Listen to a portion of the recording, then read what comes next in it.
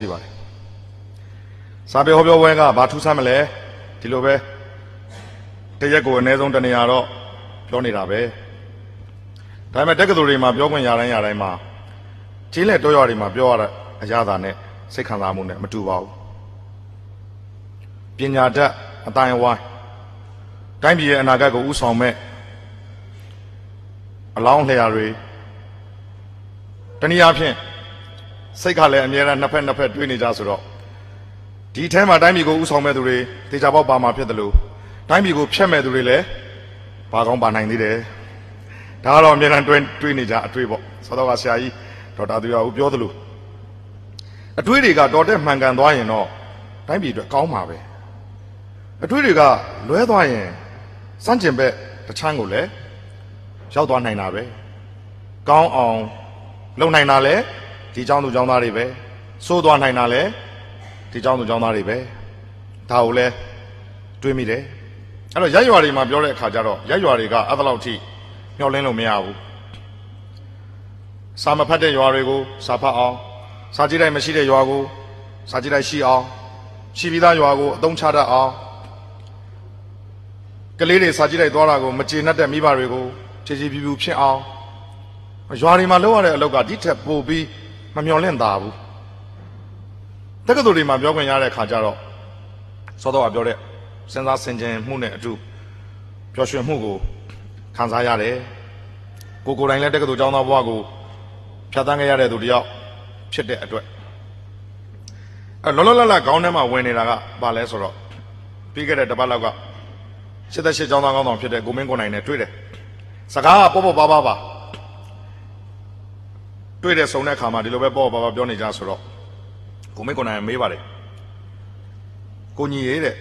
မင်္ဂလာပါဆိုတဲ့နှုတ်ခွန်းဆက်စကားကမြန်မာစကားဟုတ်ရလားတဲ့ကျွန်တော်ပြုံးမိတယ်ဘာလို့ပြုံးမိလဲဆိုတော့ဆရာကြီးဥဖေမောင်တင်ကိုသွားပြီးတော့တတိရတာတတိရတာဆိုတော့ဆရာကြီးနဲ့ကျွန်တော်နဲ့စုံဘူးလို့တော့မဟုတ်ဘူးလေကျွန်တော်တို့ကသာသမီမြေးမြင့်အရွယ်ဆိုတော့ဖတ်ခတ်ဘူးတဲ့စာကိုသွားတတိရကျွန်တော်တို့ရဲ့ဆရာကြီးဖြစ်တဲ့ဆရာကြီးဦးအောင်သင်း 78နှစ်အရွယ်မှာကွယ်လွန်သွားတယ်ကျွန်တော်တို့ရဲ့ဆရာဆရာဦးသားချိုတို့ရဲ့ဆရာတောင်တွင်းကအောင်သင်းဆိုတာဟောပြောပွဲတိုင်းမှာကျွန်တော်ပြောလို့ရှိပါတယ်ကျွန်တော်ဘဝမှာအောင်သင်းမရှိရင်ညီမင်းညိုမရှိဘူးလို့ကျွန်တော်ခက်ပြက်ပြက်ပြောလို့ရှိပါတယ်ဒါပေမဲ့ဆရာချီဦးညိုကဆုံးမဘူးပါတယ်ကျေးဇူးရှင်တွေနဲ့ပတ်သက်ပြီးတော့ပြောတဲ့အခါမှာတဲ့ဘယ်တော့အခါမှာတယောက်တည်းကိုမပြောမိစေနဲ့တဲ့ ကိုယ့်ဘုံမှာအနဲ့နဲ့တော်၎င်းအများနဲ့တော်၎င်းကျေးဇူးရှိခဲ့ဘူးတဲ့သူတွေနာကျင်သွားရင်မကောင်းဘူးတဲ့ဒီစကားလည်းမှတ်သားရပါတယ်ကျွန်တော်ကဆရာချီဦးညိုကိုလေးလေးလို့ခေါ်ပါတယ်ဟုတ်ကဲ့လေးလေးလို့ဒါပေမဲ့ကျွန်တော်ဒီစကားကိုတော့ပြောပြတယ်ဟုတ်တယ်ကျွန်တော်ဘုံမှာကျေးဇူးတင်ရမယ်စာပေနဲ့ပတ်သက်လို့ကျေးဇူးရှင်တွေရှေ့မှာထိုင်နေတဲ့ဆရာမောင်သားချိုလည်းကျေးဇူးရှင်ဆရာသမားတွေမှာပါတာပဲဆရာတို့စာတွေကြောင့်ကျွန်တော်တို့ပြုပြင်ပြောင်းလဲနိုင်ခဲ့တာတွေအများကြီးရှိတယ်ဆိုတော့ဒါပေမဲ့ဆုံးဆုံးကကျွန်တော်ဘဝရဲ့ သုံးပုံနှစ်ပုံလောက်ကိုပြောင်းလဲပေးနိုင်တဲ့အင်အားပမာဏကြတော့ဆရာကြီးဦးအောင်တင်ဖြစ်နေပါတယ်အကျွန်တော်ကကျန်တဲ့ကျေးဇူးရှင်တွေကိုလည်းကျွန်တော်ကတကယ်ကျေးဇူးတည်ပါတယ်အဲ့တော့ခုနပြောသလိုတယောက်တည်းကိုမပြောပါနဲ့ဆိုတော့လည်းပဲများများစားစားကဆရာဦးအောင်တင်ရှိမှာစုပုံနေတယ်ဦးအောင်တင်သာမဖြစ်ခဲ့ဘူးဆိုရင်ဦးအောင်တင်သာဒီစာတွေမရေးခဲ့ဘူးဆိုရင်ဦးအောင်တင်ရဲ့တပည့်တယောက်မဖြစ်ခဲ့ဘူးဆိုရင်ဦးအောင်တင်ရဲ့စာတွေကိုမဖတ်ခဲ့ရဘူးဆိုရင်ကျွန်တော်သိကြတယ်ဒီဘဝမရောက်ဘူးကျွန်တော်အသက်အခု45နှစ် ဝင်းမြူရင်းနဲ့ကုသရေးဆိုင်ရာဆရာဝန်ဘွဲ့တစ်ဘွဲ့ကျွန်တော်ရထားတယ်ဒီသပင်ကဖြန့်လိုက်လို့ရှိရင်ပခုံးပေါ်မှာဝဲနေလိမ့်မယ်လွတ်လွတ်လပ်လပ်နေရင်ကျွန်တော်ဂျင်းပေါင်းမီနဲ့တီရှပ်နဲ့နေတယ်တီရှပ်ကအယိုးကောင်းပုံတွေပါတယ်နဲ့ဇဝင်းထွတ်တို့ပတ်လေးရှိတဲ့ဒီလက်ပတ်တောင်အခုလက်မှာမဖြုတ်ရသေးဘူးပတ်ထားသေးတယ်စိတ်ကဒါကိုကြိုက်တော့ငကတ်တွေပါတွေတော့မကြိုက်ဘူးဒါပေမဲ့ဒီပွဲမှာကျတော့ကွန်လန်ကလုံးနဲ့ပါနဲ့တတ်တတ်ရတက်ရမယ်ဆိုတော့တက်ရတာပေါ့ကာလန်ခုနက ကာလဒေတာအရဝစားဆင်ရမယ်ဒါပေမဲ့ကိုယ့်ရဲ့လွတ်လပ်မှုအကြိုက်ကတော့လွန်ခဲ့တဲ့နှစ်အစိတ်လောက်ကငယ်ဆွဲတွေမပြောက်သေးဘူးကြီးပြင်းခဲ့ရတဲ့ခေတ်ကတိုင်းပြည်ဖြိုဖျက်ဖြစ်နေတဲ့အချိန်စိတ်အချင်ပေါက်နေတဲ့ကာလ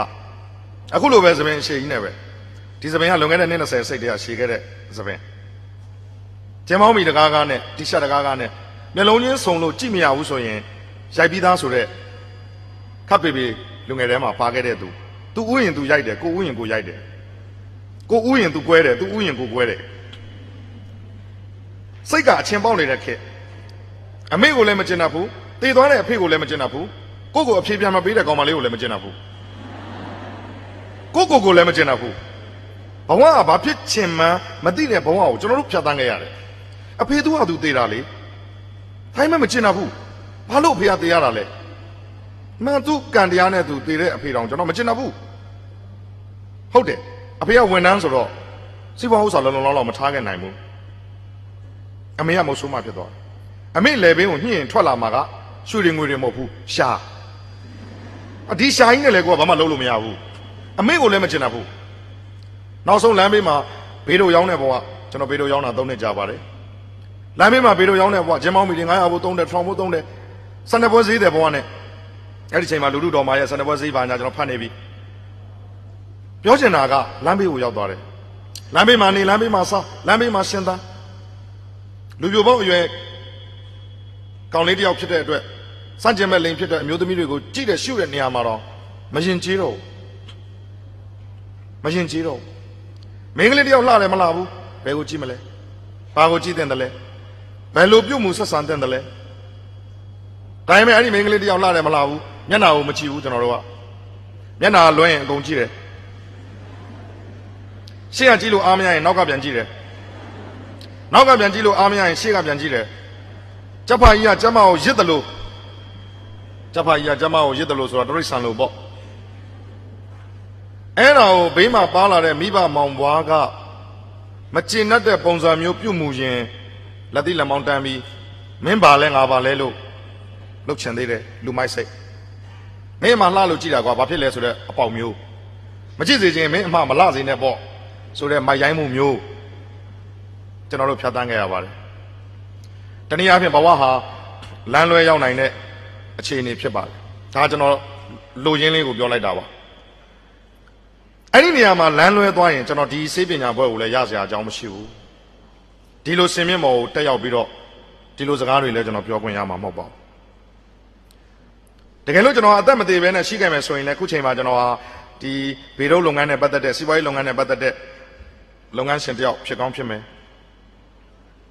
ပညာတတ်တဲ့အတွက်စာဖတ်တဲ့အတွက်စဉ်းစားဉာဏ်ရှိတဲ့အတွက်အလုပ်သမားဘဝမှာတော့အကြာကြီးနေရမှာမဟုတ်ပါဘူး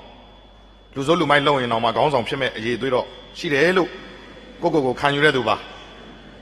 ဆိုတော့အဲ့တော့အခုနေမှာတကယ်လို့သာဒီစာပေနဲ့မထိတွေ့ခဲ့ဘူးဆိုရင်ကျွန်တော်ဖြစ်နိုင်တာဒီတထေးတကြွယ်တယောက်လည်းဖြစ်နေနိုင်တယ် ပတ်စံကိုအမိရရအမိရကြက်ကြက်ခေါင်းကကြက်ကြက်ဖြတ်စားလာစားလောက်တတ်တဲ့လမ်းဘေးကလူတယောက်လည်းဖြစ်နေနိုင်တယ်ပြောချင်တာကတော့ပတ်စံရှိပေမဲ့ဂုံတိတ်ခါရှိချင်မှရှိမယ်ဒါမှမဟုတ်မူရစေဝါတွေနဲ့အင်မတန်လက်ပုံးတတိရှိတဲ့အတွက်ထောင်ထဲမှာပဲမထွက်ရတာမျိုးလည်းဖြစ်နိုင်တယ်ကျွန်တော်တို့မူရစေဝါတွေနဲ့အင်မတန်ရင်းနှီးခဲ့ပါတယ်မိုက်တဲ့စိတ်ကြောင့်ထောင်ထဲမှာပဲအသက်ကုန်ဆုံးသွားတာမျိုးလည်း ဖြစ်နိုင်ပါတယ်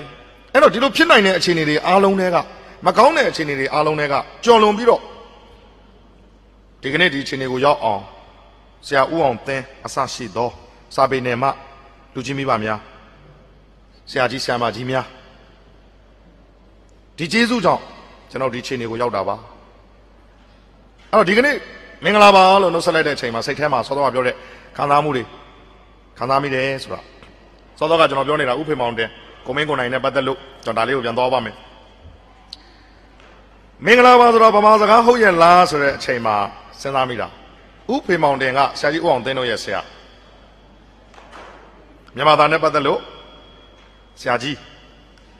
နောက်တစ်ခါဥဖေမောင်တင်ကဗုဒ္ဓဘာသာမဟုတ်ဘူးနော်ခရစ်ယာန်ဘာသာကိုးကွယ်တယ်လို့လည်းသိရတယ်အဲ့ဒီမှာဦးအောင်သိန်းတို့ကိုမေးတယ်တဲ့အောင်သိန်းဟေဟုတ်ကဲ့ဆရာကြီးစိတ်ဆိုတဲ့စကလုံးရဲ့မြန်မာအဓိပ္ပာယ်က ဘာများဖြစ်မလဲစိတ်ဆိုတဲ့စကလုံးရဲ့မြန်မာလိုအဓိပ္ပာယ်အဲ့တော့မှဆရာကြီးဦးအောင်သိန်းတို့ကစဉ်းစားတယ်တဲ့ဦးအောင်သိန်းတို့ဟုတ်တယ်စိတ်ဆိုတာစိတ်တဆိုတဲ့ပါဠိကလာတာစိတ်ကမြန်မာစကားမဟုတ်ဘူးအင်္ဂလိပ်လိုပြောတော့လဲ mind ၆စဉ်းစားတယ်စိတ်ဆိုတဲ့စကားလုံးရဲ့မြန်မာစကားကိုစဉ်းစားတာအဖြစ်မပေါ်ဘူးဆရာကြီးဥပ္ပေမောင်တရားလဲစိတ်ဆိုတဲ့မြန်မာစကားရဲ့အဓိပ္ပာယ်ကဘာပါလို့ပြောမသွားဘူးတဲ့ အဲ့ဒီမှာဆရာဦးအောင်သိန်းကပြောပါတယ်အတော်ဆုံးဆရာဆိုတာတဲ့တပည့်ကိုသင်ရိုးထဲမှာရှိတဲ့သင်ခန်းစာတွေအကုန်အစင်သင်ပေးနိုင်လိုက်တဲ့ဆရာဆရာမကိုခေါ်တာမဟုတ်ပါဘူးတဲ့အတော်ဆုံးဆရာဆိုတာကျောင်းသူကျောင်းသားရဲ့တပည့်ဖြစ်သူရဲ့ပညာရှာဖွေစူးစမ်းလိုစိတ်ကိုအမြဲတမ်းတောက်လောင်နေအောင်မိထိုးပေးနိုင်တဲ့ဆရာကမှအတော်ဆုံးဆရာလို့ခေါ်တာပါဆိုပြီးမှတ်ချက်ကလေးရေးပါ စိတ်ဆိုတဲ့ဗမာစကားလုံးရဲ့အတိတ်ပဲပါလဲဆရာအဖြေပေးမသွားဘူးခုချိန်ဒီလဲသူရှာနေတော့မယ်တဲ့ပညာဆိုတာအဲ့ဒါလို့စီးပူးရတယ်ကွမောင်အောင်သိရလို့မပြောုံတမယ်ပဲတဲ့အောင်သိရင်မင်းတော်တော်သိနေပြီလားသိနေပြီဆိုရင်စိတ်ဆိုတဲ့အတိတ်ပဲကဘာများလဲကွာစကားလေးတစ်ခွန်းနဲ့နဲ့အင်မတန်ယဉ်ကျေးတဲ့ဆရာကအင်မတန်သူမျောလင့်တဲ့တပည့်အပေါ်မှာပြုတ်မှုဆက်ဆံလိုက်တဲ့အကြောင်းအရာ ဒီနေ့ကျွန်တော်တို့ပညာရေးကတော့ခုနကဆရာကြီးပြောတဲ့ထက်မှလည်းပါပါတယ်ကျွန်တော်တို့ပညာရေးကတော့เนาะဒါသင်ဒါကျက်ဒါမိတာဖြစ်ဆိုတော့အခြေခံအဆင့်ကျွန်တော်တို့ဖြတ်သန်းရပါတယ်ဒါကတော့တက္ကသိုလ်အဆင့်မှာတက္ကသိုလ်အဆင့်မှာလည်းအားနည်းချက်တွေအားသာချက်တွေကျွန်တော်တို့အားလုံးဖြတ်သန်းမှုတဲ့သူတွေဆိုတော့အားလုံးသိကြပါတယ်အပညာကိုလိုလားနေအောင်တောက်လောင်နေအောင်လုပ်ပေးနိုင်တဲ့ဆရာဆရာမပညာကိုတတိနဲ့ချွန်းနဲ့နော်တတိဓမ္မဉာဏ်မြေကလို့ ပညာသဘာအာဘာပညာသမာအာဘာနတ္ထိဆိုတဲ့ပညာနဲ့တူတဲ့အလင်းအောင်ကမရှိဆိုတဲ့မီးမျိုးထိုးပေးနိုင်တဲ့ဆရာသောတော့ကျွန်တော်အဲ့ဒါကိုသွားတရိယာခုနကိုမင်းခုနမေးတဲ့ချိန်မှာမင်္ဂလာပါလို့နှုတ်ဆက်တာဟာမြန်မာလိုနှုတ်ဆက်တာဟုတ်ရဲ့လားမြန်မာလိုတော့မဟုတ်ဘူးမင်္ဂလာပါအင်္ဂလိပ်တွေဘယ်လိုနှုတ်ဆက်တယ်လဲစဉ်းစားတော့အင်္ဂလိပ်တွေကအင်္ဂလိပ်လိုနှုတ်ဆက်တာပေါ့ good morning ကောင်းသောမနက်ခင်းပါ and good evening and good night ဒီလို good ဆိုတဲ့စကားလုံးလေး adjective ကလေးသုံးတယ်ကောင်းတယ်ဆိုတဲ့အဓိပ္ပာယ်ကိုသူတို့သုံးတယ်ဘာလို့ကောင်းတယ်ဆိုတဲ့အဓိပ္ပာယ်သုံးတယ်လဲအင်မတန်စိုးတဲ့ရာသီဥတုအပေါ်မှာမှီခိုပြီးနေကြရတဲ့သူတွေဖြစ်တဲ့အတွက်နေကလေးပွင့်တာများဆဆပါပါမြင်ရရင်ရာသီဥတုတာယာနေတာလေးများကြုံရရင်သူတို့မှာပျော်လို့ရွှင်လို့ have a nice day တယောက်နဲ့တယောက်တွေ့နှုတ်ဆက်ကြ have a nice day အိုးဒီနေ့လေးကတော့တာယာလိုက်တာ ဒီနေ့လေးကတော့လှပလိုက်တာ have a shiny day ဒီနေ့ကတော့တော်တော်ပပပဲနော်အစာရှိသဖြင့်အခုအမေရိကန်မှာနေတဲ့ကျွန်တော်မိတ်ဆွေများဓာတ်ပုံတွေပို့ပေးပါတယ်အိမ်ကိုနှင်းဖုံးနေတဲ့ပုံတွေဗမာနိုင်ငံလိုပြောမယ်ဆိုရင်မိသက်ကားတွေနဲ့မိသက်တပ်ဖွဲ့ဝင်တွေကကားတွေမောင်းလို့ရအောင်နှင်းတွေကိုကော်ပြားနဲ့လိုက်ထိုးနေရတဲ့ပုံတွေအမေရိကန်အစိုးရအကြောင်းတွေရုံးတွေပိတ်ပေးထားတဲ့အကြောင်းနှင်းနေရအများကြီးပဲဆိုတော့ အဲ့ဒါလို့သူတို့စိုးဝါတဲ့ရာသီဥတုမှာနေကြရတဲ့သူတွေဖြစ်တဲ့အတွက် good morning ဒီနေ့မနေ့လေးကတော့ကောင်းသောမနေ့လေးပါဒီလိုနှုတ်ဆက်ကြတယ်တဘာဝကြတယ်ရာသီဥတုစိုးသွားမှုပေါ်မှာမူတည်ပြီးနေရတဲ့အတွက် good morning good evening ကောင်းတယ်ဒါဆိုရင်တဲ့ကဘာစစ်တွေအတွင်းတော့ကငတ်ခက်ပြတ်ခဲ့ဘူးတဲ့နိုင်ငံတွေရှိခဲ့ဘူးတဲ့အစာရေစာပြတ်လက်ပြီးတော့ဒုက္ခရောက်ခဲ့ဘူးတဲ့ နိုင်ငံတွေကိုရီးယားလိုနိုင်ငံမျိုးတရုတ်လိုနိုင်ငံမျိုးစားစရာမရှိအောင်ငတ်ခဲ့ကြဘူးတဲ့ဒုပိကန္တရကတ်လို့ခေါ်မဲ့အစာရေစာပြတ်လက်တဲ့အခြေအနေကိုတို့ရင်ဆိုင်ခဲ့ရတယ်နောက်ဆုံးစားစရာမရှိတော့အိမ်မှာမွေးထားတဲ့ကိုယ့်ရဲ့အိမ်မွေးခွေးကိုတောင်တတ်စားရတဲ့ဘဝမျိုးလမ်းပေါ်မှာပြေးနေတဲ့ခွေးကိုစားတော့ရတဲ့ဘဝမျိုးဒါကြောင့်မလို့ဒီနေ့ကိုရီးယားလူမျိုးတွေတရုတ်လူမျိုးတွေက ခွေးသားစားကြသလားတော့မသိဘူးဒါတော့သူတို့လူမျိုးချင်းချင်းနှုတ်ဆက်တဲ့ခါမှာသူတို့ကဘယ်လိုနှုတ်ဆက်တယ်လဲဆိုရင်တဲ့ကိုရီးယားချင်းချင်းတရုတ်ချင်းချင်းတွေ့ရင်စားပြီပြီလားလို့နှုတ်ဆက်တယ်တဲ့အတိတ်ပဲကမင်းတိတ်မြန်စားနေသလားဒါမှမဟုတ်ရင်မင်းငတ်မြန်နေသလားမင်းမျက်နှာကြည့်ရတာနေ့လေသာမစားရသေးပုံပဲနော် တကယ်လို့များမင်းသိပ်စားလောင်နေရင်သိပ်မြန်ငတ်နေရင်ငါမှရှိတဲ့တစ်ဖက်တစ်ရွက်ကိုကျွေးရမလားအတိတ်ပဲကငတ်ခဲ့ဘူးတဲ့ခစ်ကိုဖြတ်ခဲ့ကြဘူးတဲ့သူတွေဖြစ်တဲ့အတွက်နှုတ်ဆက်တာဒီစားပြီပြီလားဒါဆိုရင်ကျွန်တော်တို့မြန်မာလူမျိုးတွေကမင်္ဂလာပါဆိုတဲ့စကားကလည်းမြန်မာစကားမဟုတ်ဘူးဆိုရင်ဘယ်လိုများနှုတ်ဆက်တင်တယ်လဲစဉ်းစားရမယ်မြန်မာအမျိုးသားတွေရဲ့တက်တန်းက research စေတုတေသနာအရ 58နှစ်လို့သိရပါတယ်ဒါဆရာဥဒါချိုဆိုတာတော်တော်ကံကောင်းတယ်59 60ရဲ့ရောက်သွားပြီတော်တော်ကံကောင်းတာတကယ်တော့58နှစ်ကျွန်တော်ဆိုအများကြီးကြံသေးတယ်အမျိုးသမီးတွေရဲ့တက်တန်းက63နှစ်ကျွန်တော်နိုင်ငံထိုင်းနိုင်ငံအမျိုးသားတွေရဲ့တက်တန်းက80အမျိုးသမီးတွေက85အဘာဖြစ်လို့အမျိုးသမီးတွေကနည်းနည်းလေးပူပူနေလဲတော့မသိဘူးဒီနေရာမှာ lady first ဘာညာရှိလာတော့မသိဘူး စင်ကာပူနိုင်ငံမှာအမျိုးသားတွေက80လောက်ထိသွားတယ်အမျိုးသမီးတွေက85လောက်ထိရောက်တယ် average ပေါ့နော်ဂျပန်မှာကျွန်တော်ဒါဒါဒါဒါရှစ်ရှစ်တောင်အာရှနဲ့အာရှလောက်ပဲဆွဲလိုက်တာပါဂျပန်မှာအမျိုးသားတွေက90လောက်ထိရောက်တယ်အမျိုးသမီးတွေက90နဲ့100ကြားလောက်ထိစစ်တမ်းရသွားတယ်အဲ့တော့တနိုင်ငံနဲ့တနိုင်ငံစစ်ဖြစ်ရင်ဘာညာအဲ့လောက်ထိမတွေးပါနဲ့တက္ကသိုလ်ကျောင်းသူကျောင်းသားတွေကိုကျွန်တော်အဲ့လောက်အပင်မမခံစေချင်ဘူး ဘာမှကျွန်တော်တို့ကလက်နက်တွေပါတွေကင်ဆွဲစရာမလိုဘူး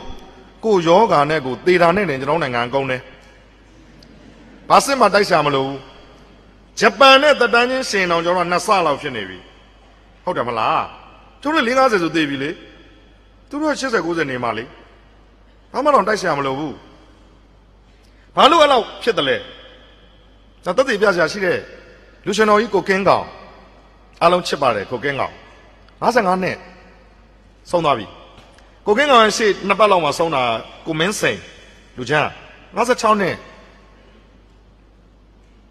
အဲ့ဒီရဲ့နောက်တပတ်နှစ်ပတ်လောက်မှဆုံးတာဆရာမောင်သားချိုရဲ့တငယ်ချင်းအရင်ဆွေမျိုးဆိုင်ရင်မရညီကိုတော်တော်သေးတယ်လို့ပြောတယ်ကြပြဆရာကိုရမုံနဲ့59နှစ်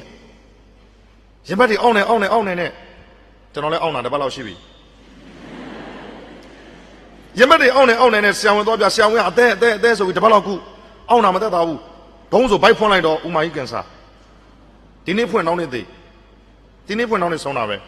ဆရာမောင်သားရွှေတကယ်ချင်းရင်ခောက်ခောက်ပါစာဖတ်တဲ့သူတွေကတော့သိပါတယ်အိမ်မက်ဖူးဆိုတဲ့မဂ္ဂဇင်းကိုအတူတူရင်ခုန်ခဲ့ကြတဲ့တကယ်ချင်းရင်းချတွေပါ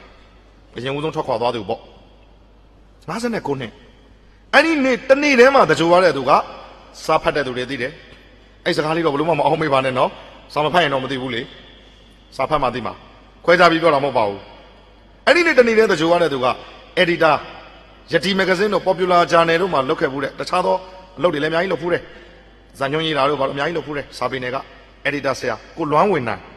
ကျွန်တော်တို့ကကိုလွမ်းလို့ခေါ်တယ်ဆရာလွမ်းလို့ခေါ်တယ်90နဲ့6နှစ်ဆိုတော့ကျွန်တော်ခုနပြောတဲ့တက်တန်းကမှန်နေတယ်နော်အမျိုးသားရဲ့တက်တန်းက90နဲ့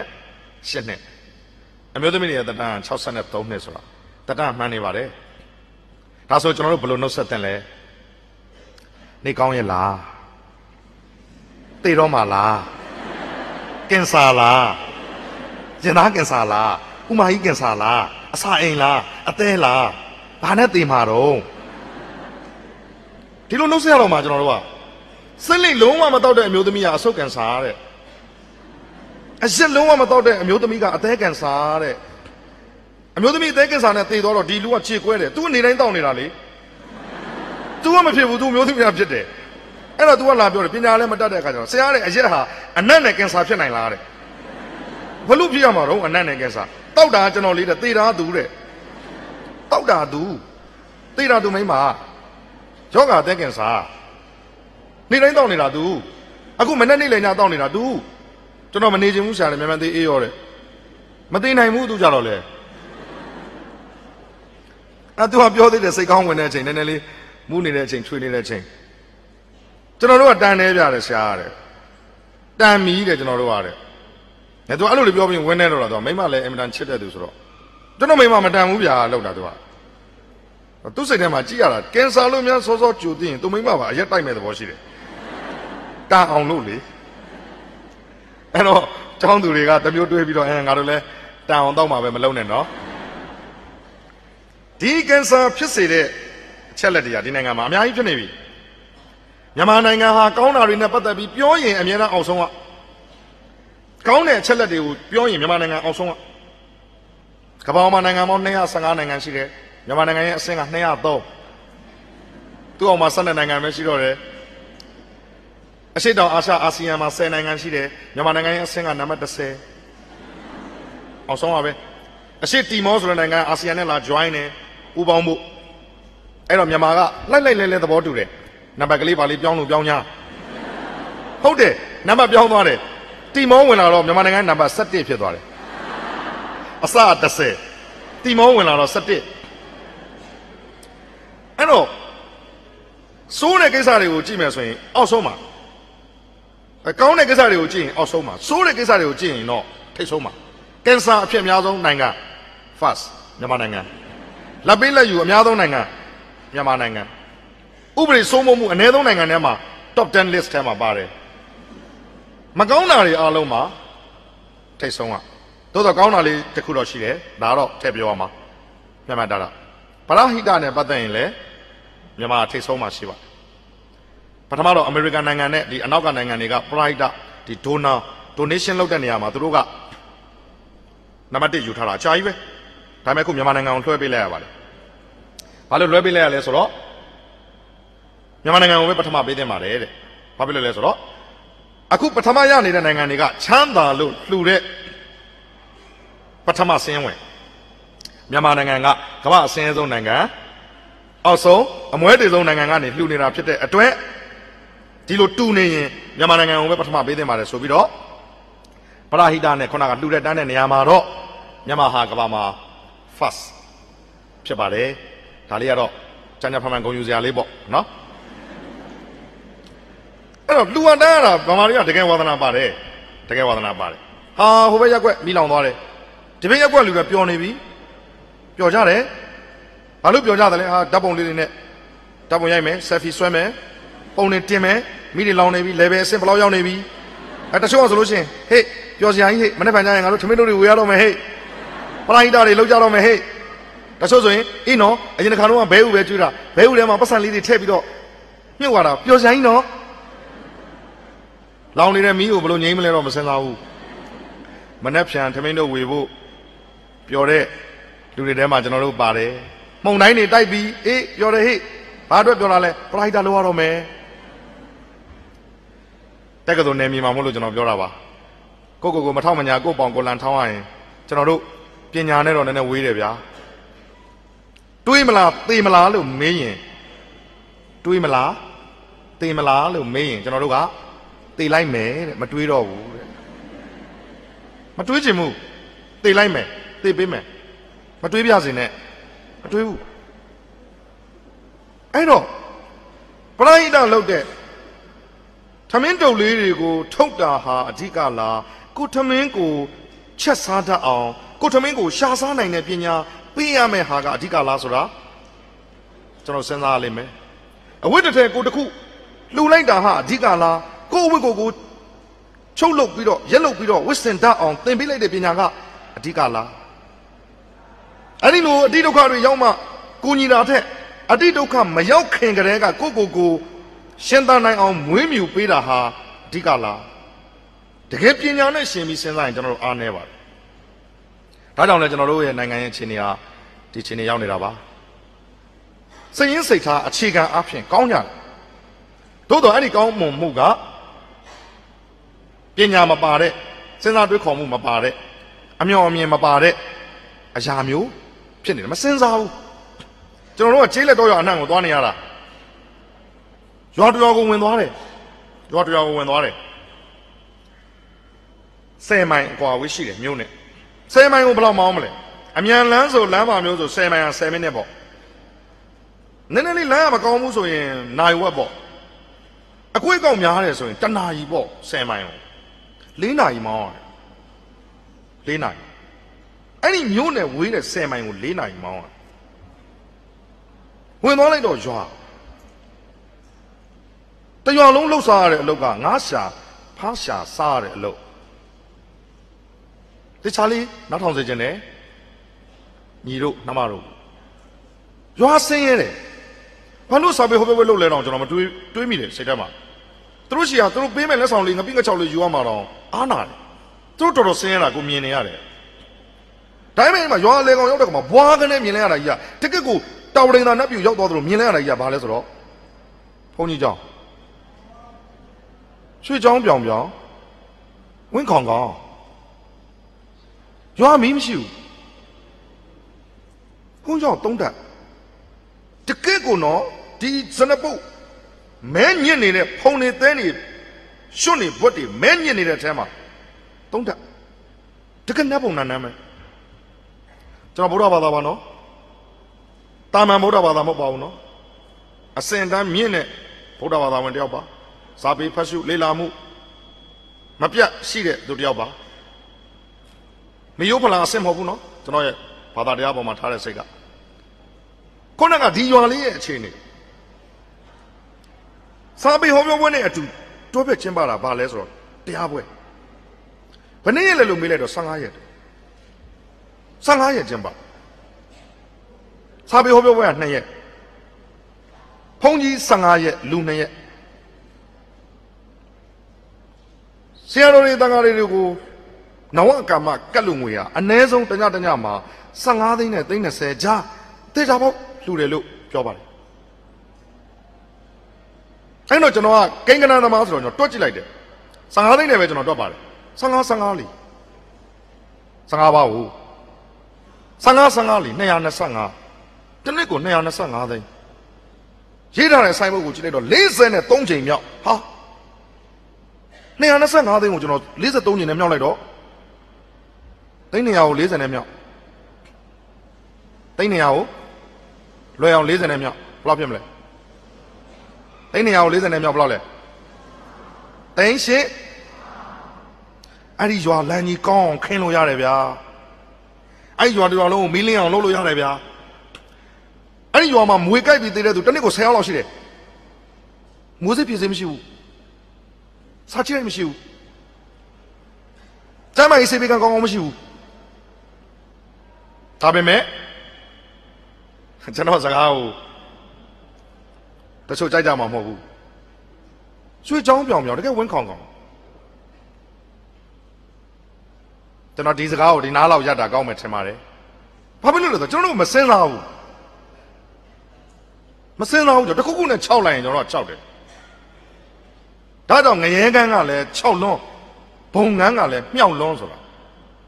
တကယ်အစ်စ်မှန်ဘာသာတရားကြားထဲမှာငရဲကန်းကြောင့်လည်း6လိုက်တာဗျာဘုံငန်းကြောင့်လည်းမြောက်လိုက်တာအလယ်မှာတကယ် absolute အမှန်တရားအဲ့ဒီ absolute အမှန်တရားကိုညံညံသွေးနဲ့သွားမှသိနိုင်မှာဒါကျွန်တော်ဒီကနေ့ဒါတော့ခုနပရိုက်တာနဲ့ပတ်သက်လို့ကျွန်တော်ရည်ရွယ်ပြီးပြောလိုက်တာကျွန်တော်တို့ရဲ့စိတ်ကအဲ့လိုရှိတယ် စာကြည့်တဲ့အတွက်လူငွေလေးထည့်ပါဆိုတော့အမေးပြန်မလာသေးဘူးတဲ့စာကြည့်တဲ့အတွက်အလူငွေ900တစ်ထောင်ကြတော့အမေးပြန်မလာသေးဘူးအဖေးမမနိုးသေးဘူးဆုံးဆုံးကပြောတဲ့ကိစ္စရက်တွေမှာကြတော့ကိန်းကနန်းပေါင်းမြောက်များစွာဒီနည်းနဲ့ကျွန်တော်တို့က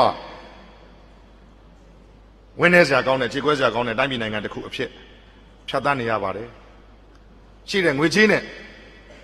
စီမံခန့်ခွဲမှုနဲ့စနစ်တကျကျွန်တော်တို့မသွားနိုင်ဘူးဟုတ်ပြီကျွန်တော်စကားတွေလည်းချော်မသွားရလေအောင်ခုနကပြောချင်တဲ့အိဗယ်ကကဘာအောင်မှာကျွန်တော်လှူဒန်းတဲ့နေရာမှာထိတိစဉ်းစားမလားသိမလားလို့မေးရင်ကျွန်တော်တို့ကမစဉ်းစားဘူးစဉ်းစားဘာသာတရားနဲ့ပတ်သက်လို့လည်းပေါ်ပေါ်တန်တန်နေတော့များတယ်ကျွန်တော်ညီမကျွန်တော်ထမများကိုတွေ့တုံးလေးပြောပြစီလေးနဲ့ပါလေးနဲ့စေချင်ပါတယ်တိုင်းပြည်ဘာကြောင့်အောက်ဆုံးနောက်ဆုံးရောက်သွားတယ်လဲတစ်ပညာရေးချုံးငယ်လို့အောက်ကိုရောက်သွားပါတယ် အမြဲတမ်းပြောတဲ့စကားပါဥအောင်သိန်းရဲ့စကားပါပဲတောင်တောင်ကြီးတွေလျှောက်ပြောမနေနဲ့ကွာတဲ့တို့ပညာမတတ်လို့သူ့ကြုံဘွားရောက်ခဲ့တာအင်္ဂလိပ်မြန်မာပထမကျူးကျော်စစ်1824ရာနေစနောက်ဆုံး1885နှစ်ကြိမ်သုံးကြိမ်ပါတော်မူသွားပြီအပိုးတွေမပြောနဲ့တဲ့တို့ပညာမတတ်လို့ရှုံးခဲ့တာမြို့ချစ်စိတ်တဲ့ရှင်သန်ထက်မဲ့ရရလက်နဲ့ဆွဲကင်တုံးလိုက်ကြားဆိုပြီးတက်သွားတာ ဟိုကလက်ပြပုံနဲ့ကောက်ထူတော့အကုန်သေးကုန်ရောတယ်အမိမြေကိုတလဲမမကျူးကျော်မခံဘူးဆိုပြီးတော့ရင်ကော့ပြီးတော့ဟိုကဆက်တနတ်နဲ့တက်တက်တက်ဆွဲလိုက်တော့အကုန်မသာဘောကုန်ရောတဲ့တို့သူတို့လိုလက်ပြပုံမလောက်တတ်ဘူးတဲ့တို့သူတို့လိုတက်တက်တက်တက်ဆွဲเสียဆက်တနတ်မရှိဘူးတဲ့တို့တူမီကတစ်ချက်ထက်တစ်ချက်ပြစ်ဒါတောင်ရှေ့မထွက်ပဲနောက်ထွက်တဲ့အလှည့်တွေအများကြီးတဲ့အဲ့လိုထဲ့နေတော့ဟိုကတက်တက်တက်ဆွဲသွားတော့လက်ပြပုံနဲ့ကောက်ထူတော့တို့အကုန်သေးတာပဲတဲ့ စကားတွေအများကြီးမပြောပါနဲ့ကွာတဲ့တို့ပညာမတတ်လို့သူ့ချော်မွားရောက်ခဲ့တာတိုင်းပြည်ဆုံးရှုံးသွားတဲ့အထက်မှာပညာမတတ်ဘူးသူ့ချော်မွားရောက်ခဲ့တယ်နံပါတ်1ပထမကဘာစစ်ဖြစ်ပြီးပြီဒုတိယကဘာစစ်ဖြစ်ပြီးပြီတတိယကဘာစစ်မဖြစ်သေးဘူးဖြစ်ရင်လည်းမပူနဲ့မဖြစ်ရင်လည်းမဖြစ်သေးလို့မပူနဲ့ရှင်းပါတယ်မဖြစ်ရင်မဖြစ်သေးရင်မပူနဲ့လေဖြစ်မှာမဖြစ်သေးတာ ဖြစ်ရင်ကောပူဇာမလို့လေခလုတ်တစ်ချက်နှိမ့်ရင်အကုန်လုံးပြာကျသွားမယ်ကိစ္စဒါဆိုဆရာကျွန်တော်တို့ဘာလုပ်တင်တယ်လဲနော်ငါနော်ချလိုက်မယ်နော်လှုပ်လိုက်မယ်နော်မပူနဲ့တကယ်လုံးမဲ့ကောင်ကအဲ့လိုကိုမပြောဘူးကျွန်တော်ငယ်ငယ်တုန်းကရံပွဲတွေအများကြီးဆင်နွှဲကြတာဒီကောင်ကိုရိုက်မယ်လို့စဉ်းစားပြီးတာနဲ့ပြီးပြီရိုက်ပြီးပြီဘာမှပြောမနေဘူးဒီကောင်ကလည်းကိုယ်တီးမယ်ဆိုတာနဲ့ကိုလာတွေကစောင့်ပြီးသားကိုလည်းကွဲပြီးသားပဲ နောက်မဆွဲနဲ့တော့မဆွဲနဲ့တော့ဆိုတဲ့ကောင်အဲ့ကောင်တွေကအဲ့ဒါအာအာလေးပေါ်တဲ့ကောင်တွေဆွဲအောင်ပြောနေတဲ့ကောင်တွေအဲ့ဒီကောင်တွေကလည်းကတကယ်လုံးမဲ့ကောင်ကဘာမှကိုမပြောဘူးလှုပ်သွားတာ trick ဆိုထိုးသွားတာဟိုကောင်ဘိုက်ကလေးနှိပ်ပြီးကြံရင်ခဲ့တာဥကွေလေးကအပြင်ထွက်လို့တကယ်လှုပ်တဲ့ကောင်ကပြောကိုမပြောဘူးអော်နေတဲ့ကောင်ကလည်းတကယ်မလုပ်ရဲဘူးမြောက်ကိုရီးယားနဲ့အမေရိကန်လည်းဒီတိုင်းပဲမင်းတော့ငါတော့မလုပ်ရဲဘူးဘာလို့လဲလုံရင်အတူတူပဲလေလက်နက်တွေကအကောင်းသားတွေပိုင်ဆိုင်ထားတာသူ့နိုင်ငံလည်းပြကြကိုယ်နိုင်ငံလည်း ပြကြဟာဘာမှဟိုမဟာမိတ်တွေဘာတွေမစဉ်းစားနဲ့နော်မဟာပြဖြစ်ဖို့သာစဉ်းစားထားသူတို့ပြကြမှာတော့ကိုယ်လည်းပြကြပြီပေါ့ဒါကြောင့်မလို့တကယ်မလုပ်ပါဘူးမင်းတော်ငါတော်လုပ်နေတာအဲ့တော့ကျွန်တော်တို့ကတကယ်တက်တက်ကဘာစီဖြစ်လဲပူဇာမရှိဘူးမဖြစ်လဲပူဇာမရှိဘူးလေနေသာတပလေညာကနော်မုံရွာကြောက်ကလမ်းပေါ်မှာကောင်းမလေးရှာအဖြေရဖို့ရည်ကြီးတယ်ဟလားတတရကဘာစစ်ဖြစ်ခြင်းဖြစ်မဖြစ်ခြင်းနေ လောလောဆယ်မင်းရဲ့အဖြေစကားဟာကိုယ့်ရင်ထဲမှာတတရကဘာစစ်တဲ့ပုံပြီးကြီးမားပါတယ်ချစ်သူရဲ့ပေါ့အဲအဲ့လိုဇလန်အနေနဲ့စလာ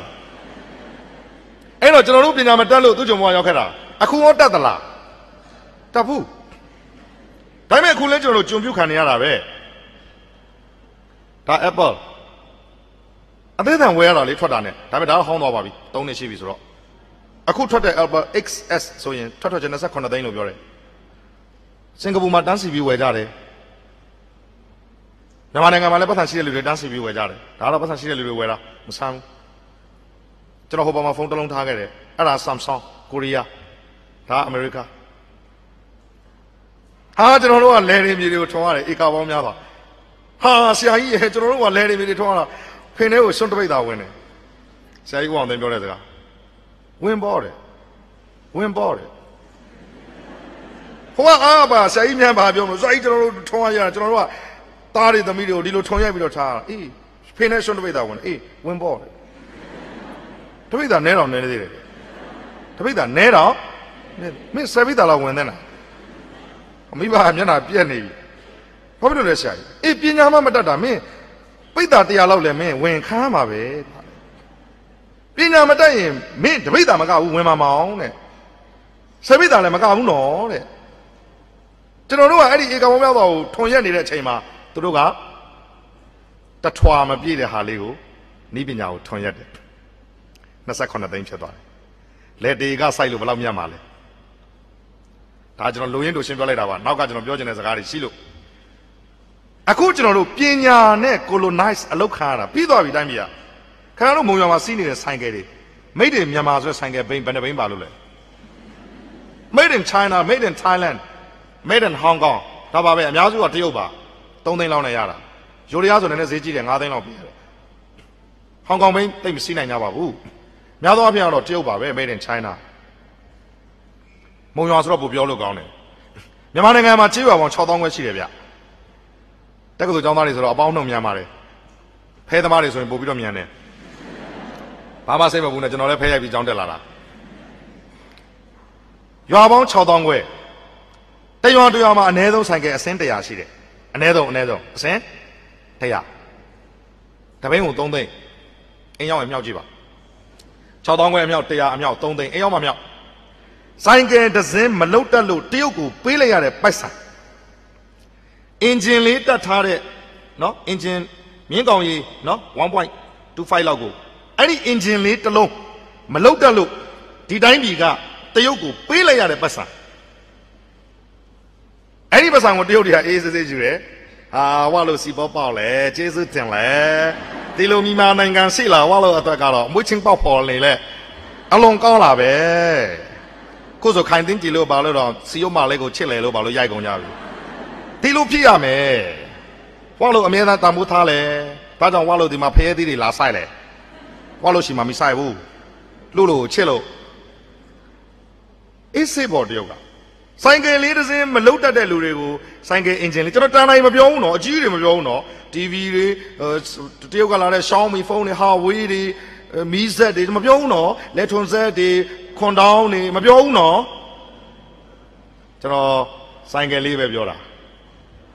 အဲ့ဒီဆိုင်ကယ်လေးသွင်းပြီးတော့ပတ်စံတွေအားလုံးကိုတဲ့ယူလိုက်တယ်โอเคပြီးတော့မှလက်ညှိုးထုတ်ပေးမိတယ်ဒီစီတောင်ကဘီလောက်လဲတဲ့လက်ပတောင်းကိုထုတ်ပြီးတော့စီတောင်ဘီလောက်ပေးရမယ်လဲတဲ့ ဒီတောင်ဘီလောက်လဲစပယ်တောင်ဘလောက်လဲကြီးစင်တောင်ဘလောက်လဲအေရီမြစ်ကဘီလောက်လဲစီပြောပါဝါလို့လုံးဝဈေးမစစ်ဘူးမစစ်ဘူးလေအင်ဂျင်ကဘယ်နှလုံးထုတ်ချင်လဲဒီတောင်ကနှစ်တန်းနဲ့ခြီးပြီးကြာမှရတဲ့တောင်ဒီမြစ်ကနှစ်တန်းနဲ့ခြီးပြီးဖြတ်ဖြတ်တန်းလာတဲ့မြင့်ကျွန်တော်တို့ရှုံးသွားတာကြာပြီနော်သရုတ်ထကျူးကျော်စစ်တွေတတိယကဘာစစ်တွေမပြောနဲ့တော့ ကျွန်တော်တို့ရှုံးသွားတာကြာပြီနော်ကျွန်တော်ညီများကျွန်တော်ထမများအဲ့ဒီဂျားတွေကမှခင်ဗျားတို့ကဒီမုံရွာတက္ကသိုလ်ကြီးကနေပြီးတော့ပညာကိုကြိုးကြိုးစားစားနဲ့ထပ်ပြီးမတင်ကြဘူးဆိုရင်တော့ကျွန်တော်တို့မျက်ရည်ဒေါမှာပဲမျောဖို့ရှိတော့မယ်ကျွန်တော်တို့နိုင်ငံရဲ့ဘယ်ဘွဲ့ကိုမှနိုင်ငံတကာအသိမှမပြုတ်ဘူးနော်ခွန်းလို့ပါပြောပြစီကျွန်တော်ဆရာဝန်ပွဲရတယ်မြန်မာနိုင်ငံမှာပဲကျွန်တော်ဆရာဝန်နော်စင်ကာပူနိုင်ငံရောက်သွားရင်ကျွန်တော်ဆရာဝန်မဟုတ်တော့ဘူး ကျွန်တော်ရဲ့ဘွဲ့ကိုစင်ကာပူကအသိမှမပြုတ်ဘူးဒါပေမဲ့ကျွန်တော်တရိတ်ဆိုင်တွေမွေးမြူတာတွေကုသတာတွေနဲ့ပတ်သက်လို့ကျွမ်းကျင်တဲ့သူတယောက်ဖြစ်တဲ့အတွက်အလုပ်ပေးကောင်းတော့ပေးမယ်စင်ကာပူကဆရာဝန်တယောက်အနေနဲ့လောက်ရမှာမဟုတ်ဘူးနော်လွယ်အောင်ပြောရင် nurse အဆင့်လောက်နဲ့ကျွန်တော်လောက်ရမှာဒါပေမဲ့ကျွန်တော်နိုင်ငံမှာကျွန်တော်သင်ထားတဲ့ပညာကဆရာဝန်တယောက်ရဲ့ပညာဗျဒါနောက်နှိမ့်ကြနေတဲ့အထဲကကျွန်တော်တို့ကပညာကိုအလေးတယူမလုပ်ကြတော့ဘူး ကျောင်းကိုလာတာဟာရီးစားနဲ့တွေ့ုံလောက်ဆိုတဲ့ပုံစံမျိုးဆိုရင်တော့ကျွန်တော်တို့ရှုံးပြီနော်ကျွန်တော်တို့အခုဟောပြောပွဲတွေကိုလက်ဆောင်ရအကောင်းယုံတက်တဲ့ကျွန်တော်တို့လုပ်နေတာမဟုတ်ပါဘူး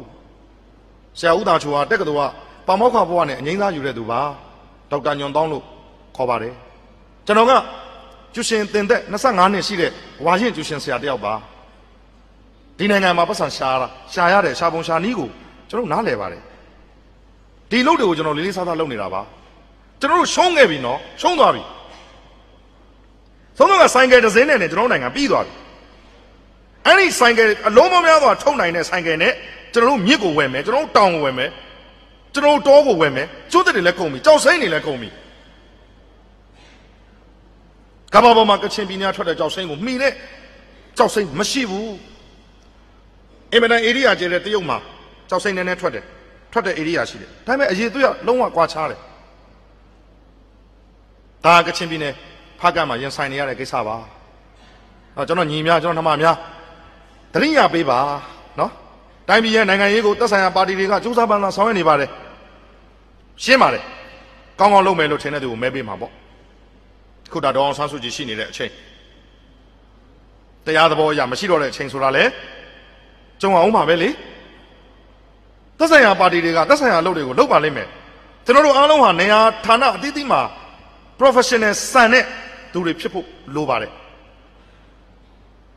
engineer ကတကယ် engineer ဖြစ်နေဖို့လိုပါတယ်ဆရာဝန်ကတကယ်ဆရာဝန်ဖြစ်နေဖို့လိုပါတယ်ပထဝီသမားကတကယ်ပထဝီကိုကျွမ်းကျင်တဲ့သူဖြစ်နေဖို့လိုပါတယ်တမိုင်းသမားကတမိုင်းကိုတကယ့်ကိုထုံးလို့ချေရေလိုနှောက်နိုင်တဲ့တိုင်းပြည်ရဲ့အနာဂတ်ကိုမျှော်တွေးနိုင်တဲ့တမိုင်းပညာရှင်ဖြစ်နေဖို့လိုပါတယ် မြန်မာသားသမားကတိုင်းပြည်ရဲ့ယဉ်ကျေးမှုနဲ့တိုင်းပြည်ရဲ့နှလုံးသားကိုကောင်းကောင်းထိမ့်သိမ့်နိုင်ဖို့လမ်းညွှန်နိုင်ဖို့လိုပါတယ်နေရာဌာနအသီးသီးကသူတွေဟာကိုယ်တာဝန်ကိုကိုကြေအောင်ထားနိုင်ကြမယ်ဆိုရင်စေတနာဆိုတဲ့စကားလုံးကိုခဏဖယ်ထားလို့ရပါတယ်ကျွန်တော်တို့ကစကားပြောတဲ့အခါမှာစေတနာနဲ့လုပ်ပေးလိုက်တာဒါကတော့ဘု து မို့လို့ဒါကတော့ဘဝမို့လို့တကယ်တမ်း professional ပြီးသားရင်စေတနာဆိုတဲ့စကားလုံးထည့်ပြောကြကုန်မလို့ဘူး ဟာဒီထမင်းဆိုင်လာစားလားထမင်းလေးကစားလို့ကောင်းလိုက်တာမလိုပါဘူးထမင်းဆိုတော့ကောင်းအောင်ရောင်းအောင်ပါကောင်းအောင်ရောင်းပြီးသားကောင်းအောင်ရောင်းမဲ့ scale ဟာ design scale ပဲဟာဒီ hotel မှာတက်ရတာစိတ်ကိုချမ်းသာနေတာပဲ okay အဲ့လိုဖြစ်နေအောင်ကိုလုပ်ထားတာပေးရတဲ့ပတ်စံနဲ့တာအောင်အစားရှိသဖြင့်အဲ့ဒီ professional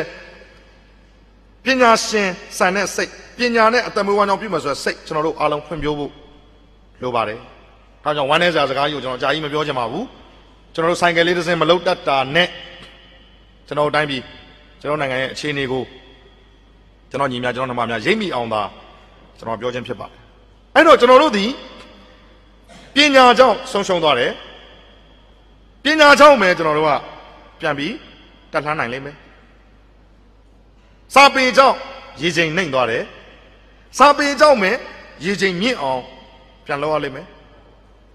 ကိုယ်ွယ်ယုံကြည်ရာဘာသာတရားရှိတယ်အသီးသီးကျွန်တော်ကတော့ဗုဒ္ဓဘာသာပါအခြားသောဘာသာဝင်တွေပါခဲ့ရင်ကျွန်တော်လေးစားပါတယ်တန်တူတန်ဖိုးထားပါတယ်ချစ်ချစ်ခင်ခင်ရှိပါတယ်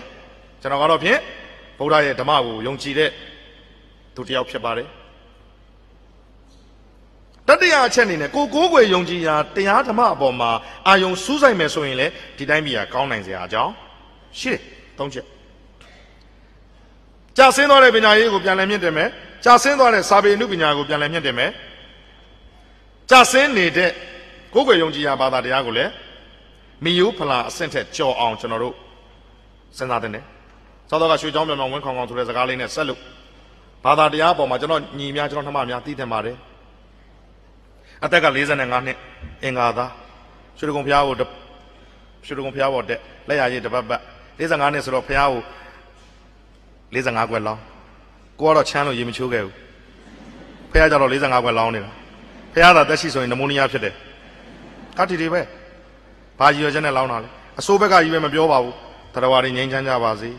အေးချမ်းကြပါစေခொနရသားသမီးတွေတို့မကိုကိုတိတ်မုန်းနေတဲ့သူကိုကိုသေးစေချင်နေတဲ့သူသူ့ကိုဒီဒီနေရာမှာဖះနေရာမှာအစားထိုးပြီးတော့ငါလောင်းလိုက်တဲ့ရေလေးကသူငြိမ်းချမ်းပါစေကိုချစ်တဲ့သူယောဂဗျာဖြစ်နေကင်းရှင်းပါစေဒါဆိုရင်ဒိဗယ်ရှိတယ် 45ခွက်ကလဟတမဖြစ်ဘူးအမေချမ်းပါပါစေအဖေချမ်းပါပါစေဒေါအောင်ဆန်းစုကြည်ချမ်းပါပါစေအဓိပ္ပာယ်ရှိတယ်ဒီ45ခွက်ဟာ45ခုတော့ဟာကိုကြီးမမ်းမယ်ဆိုရင်တော့မဆိုးဘူးအလဟတတော့ဖြစ်စရာအကြောင်း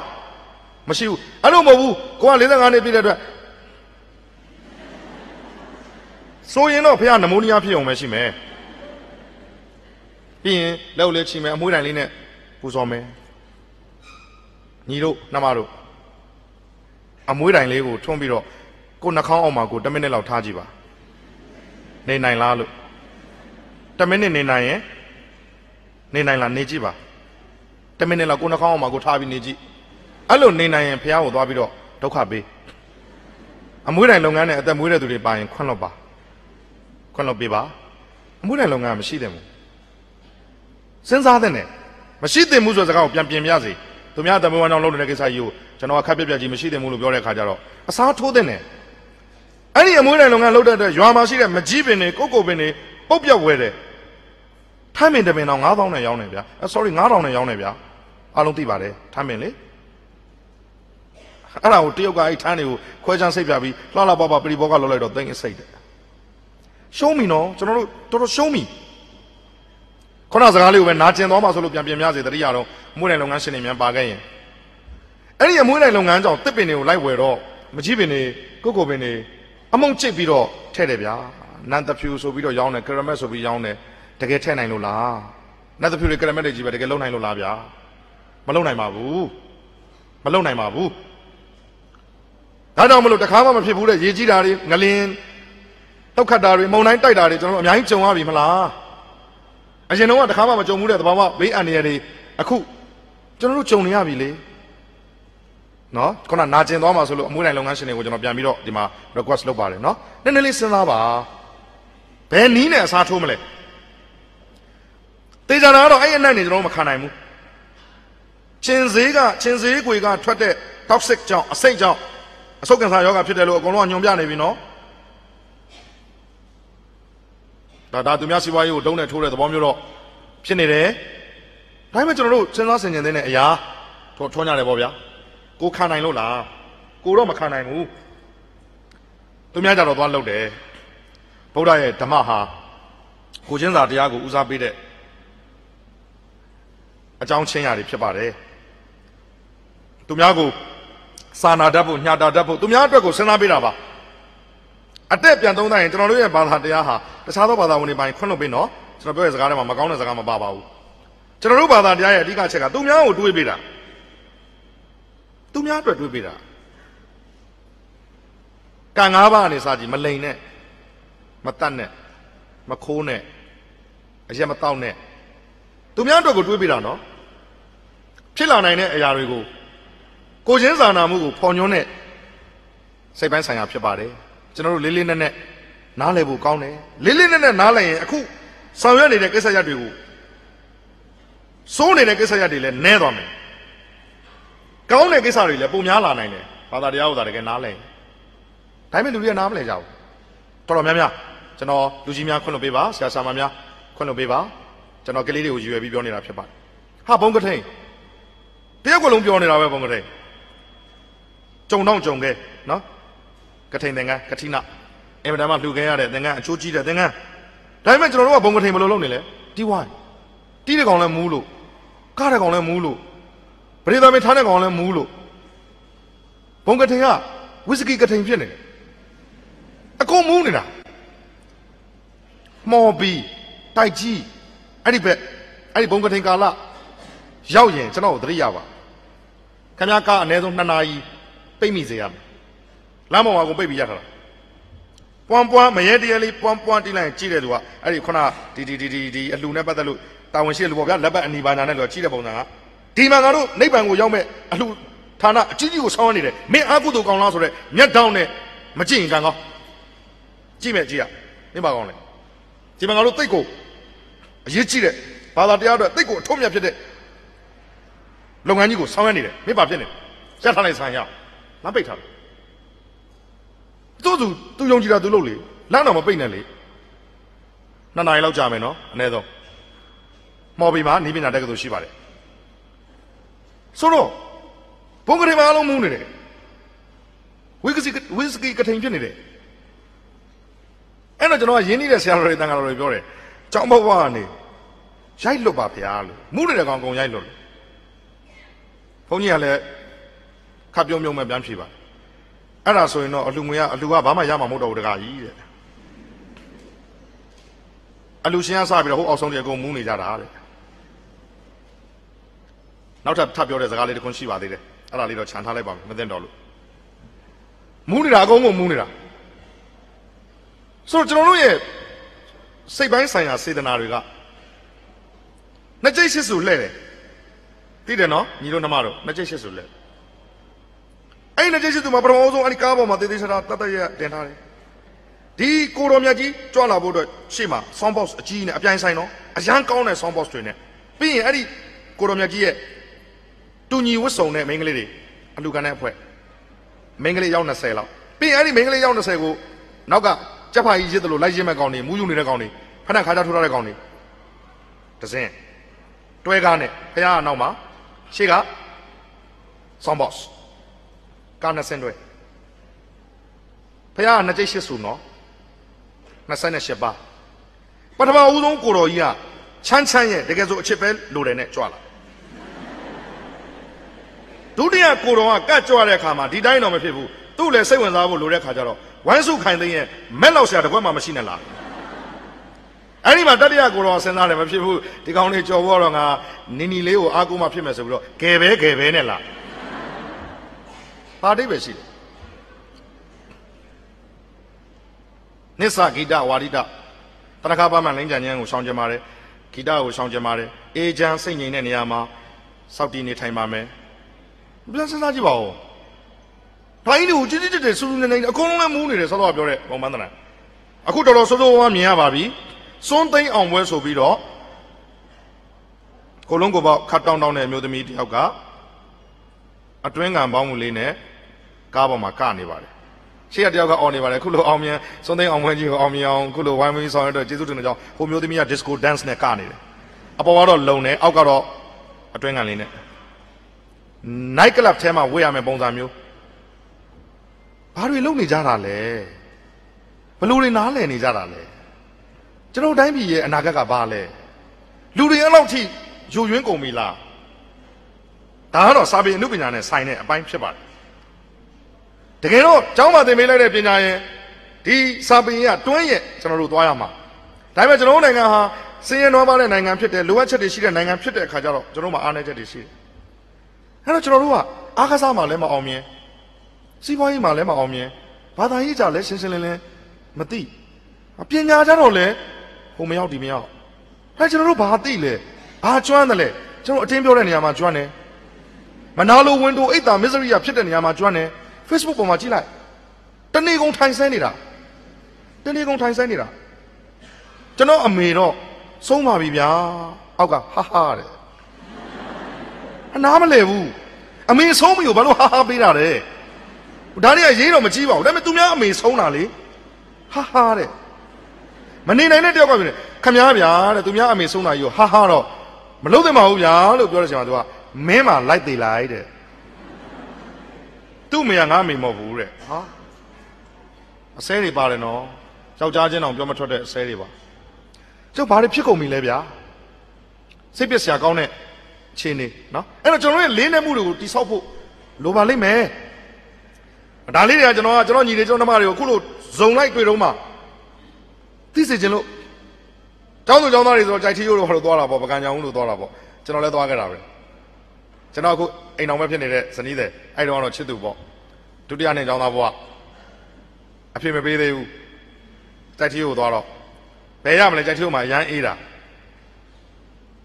အရန်အေးတာနဲ့အဖြစ်မပေးတာနဲ့ဘာဆိုင်လဲအရန်အေးတာကြိုက်ထီရိုးမှာအရန်အေးတော့သူအနွေးတွေဝတ်တယ်ဒါပေမဲ့မရဘူးလေချမ်းသာနှလုံးသားထဲထိရောက်တဲ့ကိစ္စမင်းကလေးဆိုတော့ तू တောက်လို့စားလို့လည်းမရဘူးလေကြိုက်ထီရိုးတောက်ဆရာစားဆရာလည်းမရှိဘူးလေဘယ်လိုလုပ်မလဲနောက်ဆုံးတော့ तू ကျွန်တော်ရင်ခွင်ကလွဲပြီးရွေးစရာမှမရှိတာအခုသားနှစ်ယောက်ရဲ့မိခင်ကျွန်တော်လည်းသွားခဲ့ပါတယ်ခင်ဗျားတို့လည်းသွားမှာပါသွားပေါ့ ကျွန်တော်တော်ဝိုက်ပြီးဝန်ခံတာသူ့ထမိန်တို့ကိုကျွန်တော်ဟာလွန်ခဲ့တဲ့နှစ်အစိတ်လောက်ကလေးကထမ်းခဲ့တဲ့ကောင်ပါလို့ပြောချင်တာပါရုံးမြေကြပေါ့နော်အခုလည်းထမ်းနေရတာပါပဲတက်ချီကိုသွားတယ်ပြောကြတယ်ရက်ကွက်ထဲမှာကုမ္ပဏီတွေမှာအားလုံးအာတက်ချီကိုသွားမယ်မနစ်ကတစ်ခေါက်ရောက်ပြီပြီဒီနှစ်ဒုတိယခေါက်အေးပြောစရာကြီးနော်နောက်နှစ်လည်းသွားအောင်မယ်သုံးခေါက်မြောက်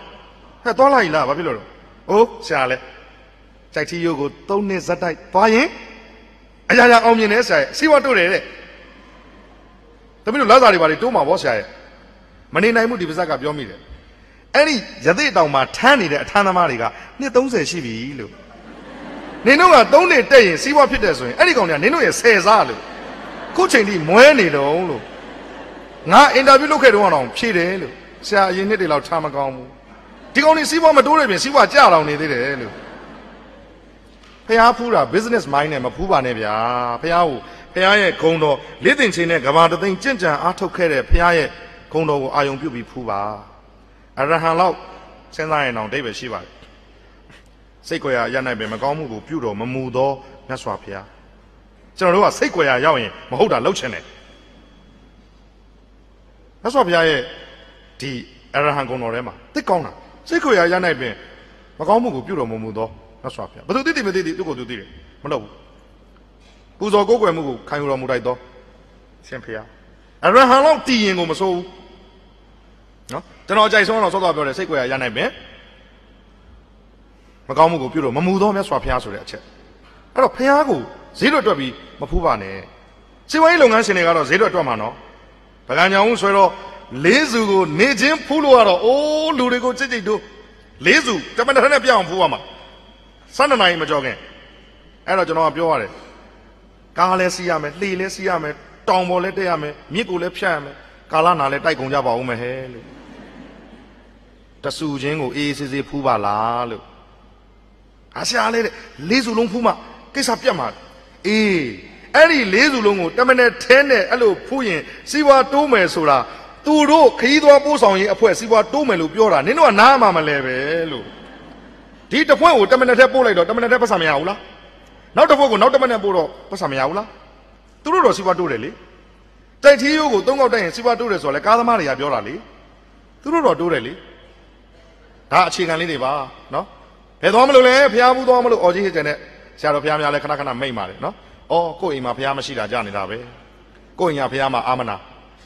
အသေးဖွဲလေးတွေပေါ့ဒါလေးတွေကသို့တော့အသေးဖွဲဆိုတော့လည်းပဲအလေးအနက်နားမလဲရတော့ကြတယ် စွန်းသိန်းအောင်ပွဲဆိုတဲ့စကားကစလို့ဗျာဒါကျွန်တော်တို့ကစာရေးဆရာဆိုတော့မြန်မာသားသမားဆိုတော့ပြောရမှာပဲခင်ဗျာစွန်းနေကိုသိမ့်လိုက်တော့အဲ့ကိုတော်တွေကဘာသွားဖုံးပေးမှာလဲဟုတ်လားအဲ့ဒီစွန်းနေသိမ့်လိုက်ရင်အဲ့ကိုတော်တွေကဘာသွားဖုံးပေးမလဲလို့စွန်းသိမ့်အောင်ပွဲသိမ့်ဆိုတဲ့စကားလုံးသုံးကိုမသုံးသင့်ဘူးနော်စွန်းအလူအောင်ပွဲအထိန်အမတ်တတိတနည်းနည်းပေါ့ဗျာတခြားနည်းနဲ့တော့ကိုတော့ခတ်တည်းပဲစွန်းသိမ်းအောင်ပွဲဆိုအဲစွန်းနေသိမ်းလိုက်ရင် အဲ့ဒီကိုတော်တွေကဘာဘာဖုံးပေးမှာတော့လို့ဒီကာလနဲ့ဒီကာလအကြားမှာရှိတာစွန်းတွေကိုသိမ်းလိုက်ပြီကဲနောက်တော့ထပ်ပြီးတော့မလူတော့ဘူးဆိုရင်ဘယ်နဲ့လုံးမလို့ဆိုတော့တိုင်းပြည်ကိုပြန်လဲပြီးတော့ပြင်ဆင်စရာအချက်၃ချက်ပါလို့ကျွန်တော်ကပြောပါတယ်ပညာရေးရသစာပေစာပေကလည်းကြာနေပါပြီပညာရေးကြာနေတယ်ပြန်မြင့်တင်ရမယ်စာပေကြာနေတယ်မြင့်တင်ရမယ်တတိယကတော့လူတိုင်းလူတိုင်းကိုကိုးကွယ်ယုံကြည်ရာဘာသာတရားနဲ့ နိုင်ရှင်တဲ့အချက်နော်အဲ့တော့အခုကျွန်တော်စကားပြောတာတနားရီနီးပါးလောက်ရှိပြီကျွန်တော်ခွဲတန်းကတနားရီနဲ့15မိနစ်လောက်ရတာပေါ့နော်နောက်မှဆရာမောင်သားချိုလဲလာအောင်ပါစကားပြောတာအားရပါတယ်ဒီထက်တော့အများကြီးပြောချင်တာပေါ့နော်နောင်ကိုအကြံပေးခြင်းနဲ့ဟောပြောပွဲလဲလုပ်ပါဆွေးနွေးပွဲလေးအတွက်လည်းလုပ်စေခြင်းနဲ့ဒါကတော့ကျွန်တော်တို့အကြီးပြောတာကျောင်းသူကျောင်းသားတွေကပြန်ပြောတဲ့ဟာမျိုးကျွန်တော်ကြားခြင်းနဲ့ရုတ်တရက်ပြန်ဖြေရမယ်မေးခွန်းတွေ နော်ဟာဘာလဲဆရာကကိုကိုကိုဘာမေးမေးဖြေနိုင်တယ်ဆိုပြီးတော့စိန်ခေါ်လာလားမဟုတ်ဘူးအဲ့လိုမဟုတ်ဘူးရိုးသားတဲ့စိတ်နဲ့ပြောတာသိရင်ဖြေမယ်မသိမသိဘူးပေါ့ကျွန်တော်လည်းအကုန်လုံးတော့ပဲသိပါမလဲပဲတတ်ပါမလဲကျွန်တော်သိတာတတ်တာကျွန်တော်သိတယ်တတ်တယ်ဖြေမှာပေါ့ကျွန်တော်မသိတာမသိဘူးပြောရုံပေါ့ဘယ်သူတော့သိနိုင်တယ်ညွှန်မှာပေါ့ဒါပေမဲ့သိကြတာကစကားပြောလို့ကောင်းမှာပါ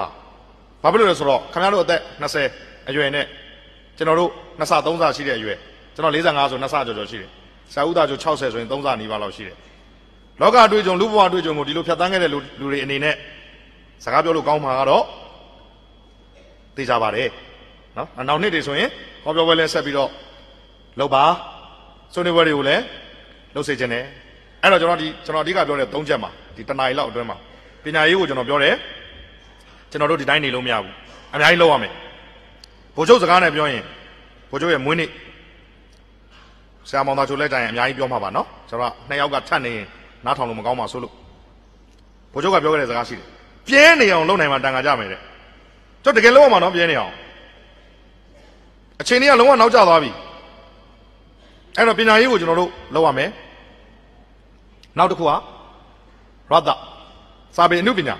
အနုပညာကိုမခံစားတတ်တဲ့အတွက်တိုင်းပြည်ဒီလိုချင်းနေရောက်နေတာလဲတစ်ပိုင်းပါတယ်ပညာသင်တာကတော့ IQ ပေါ့ဗျာ intelligent quotient လို့ခေါ်တယ်အုံနောက်ပေါ့အနုပညာကတော့ EQ emotional quotient ခံစားမှုအရေးသွေး IQ ကောင်းရင်တော်မယ် EQ ပြည့်စုံရင်ကောင်းမယ်တော်လဲတော်ကောင်းလဲကောင်းမှလောကကြီးတွေသုံးဝင်တာဗျလောကကြီးမှာအကြောက်အဆုံးလူသားကတော့တော်ပြီးမကောင်းတဲ့လူတွေလောကမှာဒုက္ခအပေးနိုင်ဆုံးသူတွေသည်တော်ပြီး မကောင်းတဲ့သူတွေဟစ်တလာသိတ်တော်တယ်နော်ဟစ်တလာသိတ်တော်တယ်မကောင်းဘူး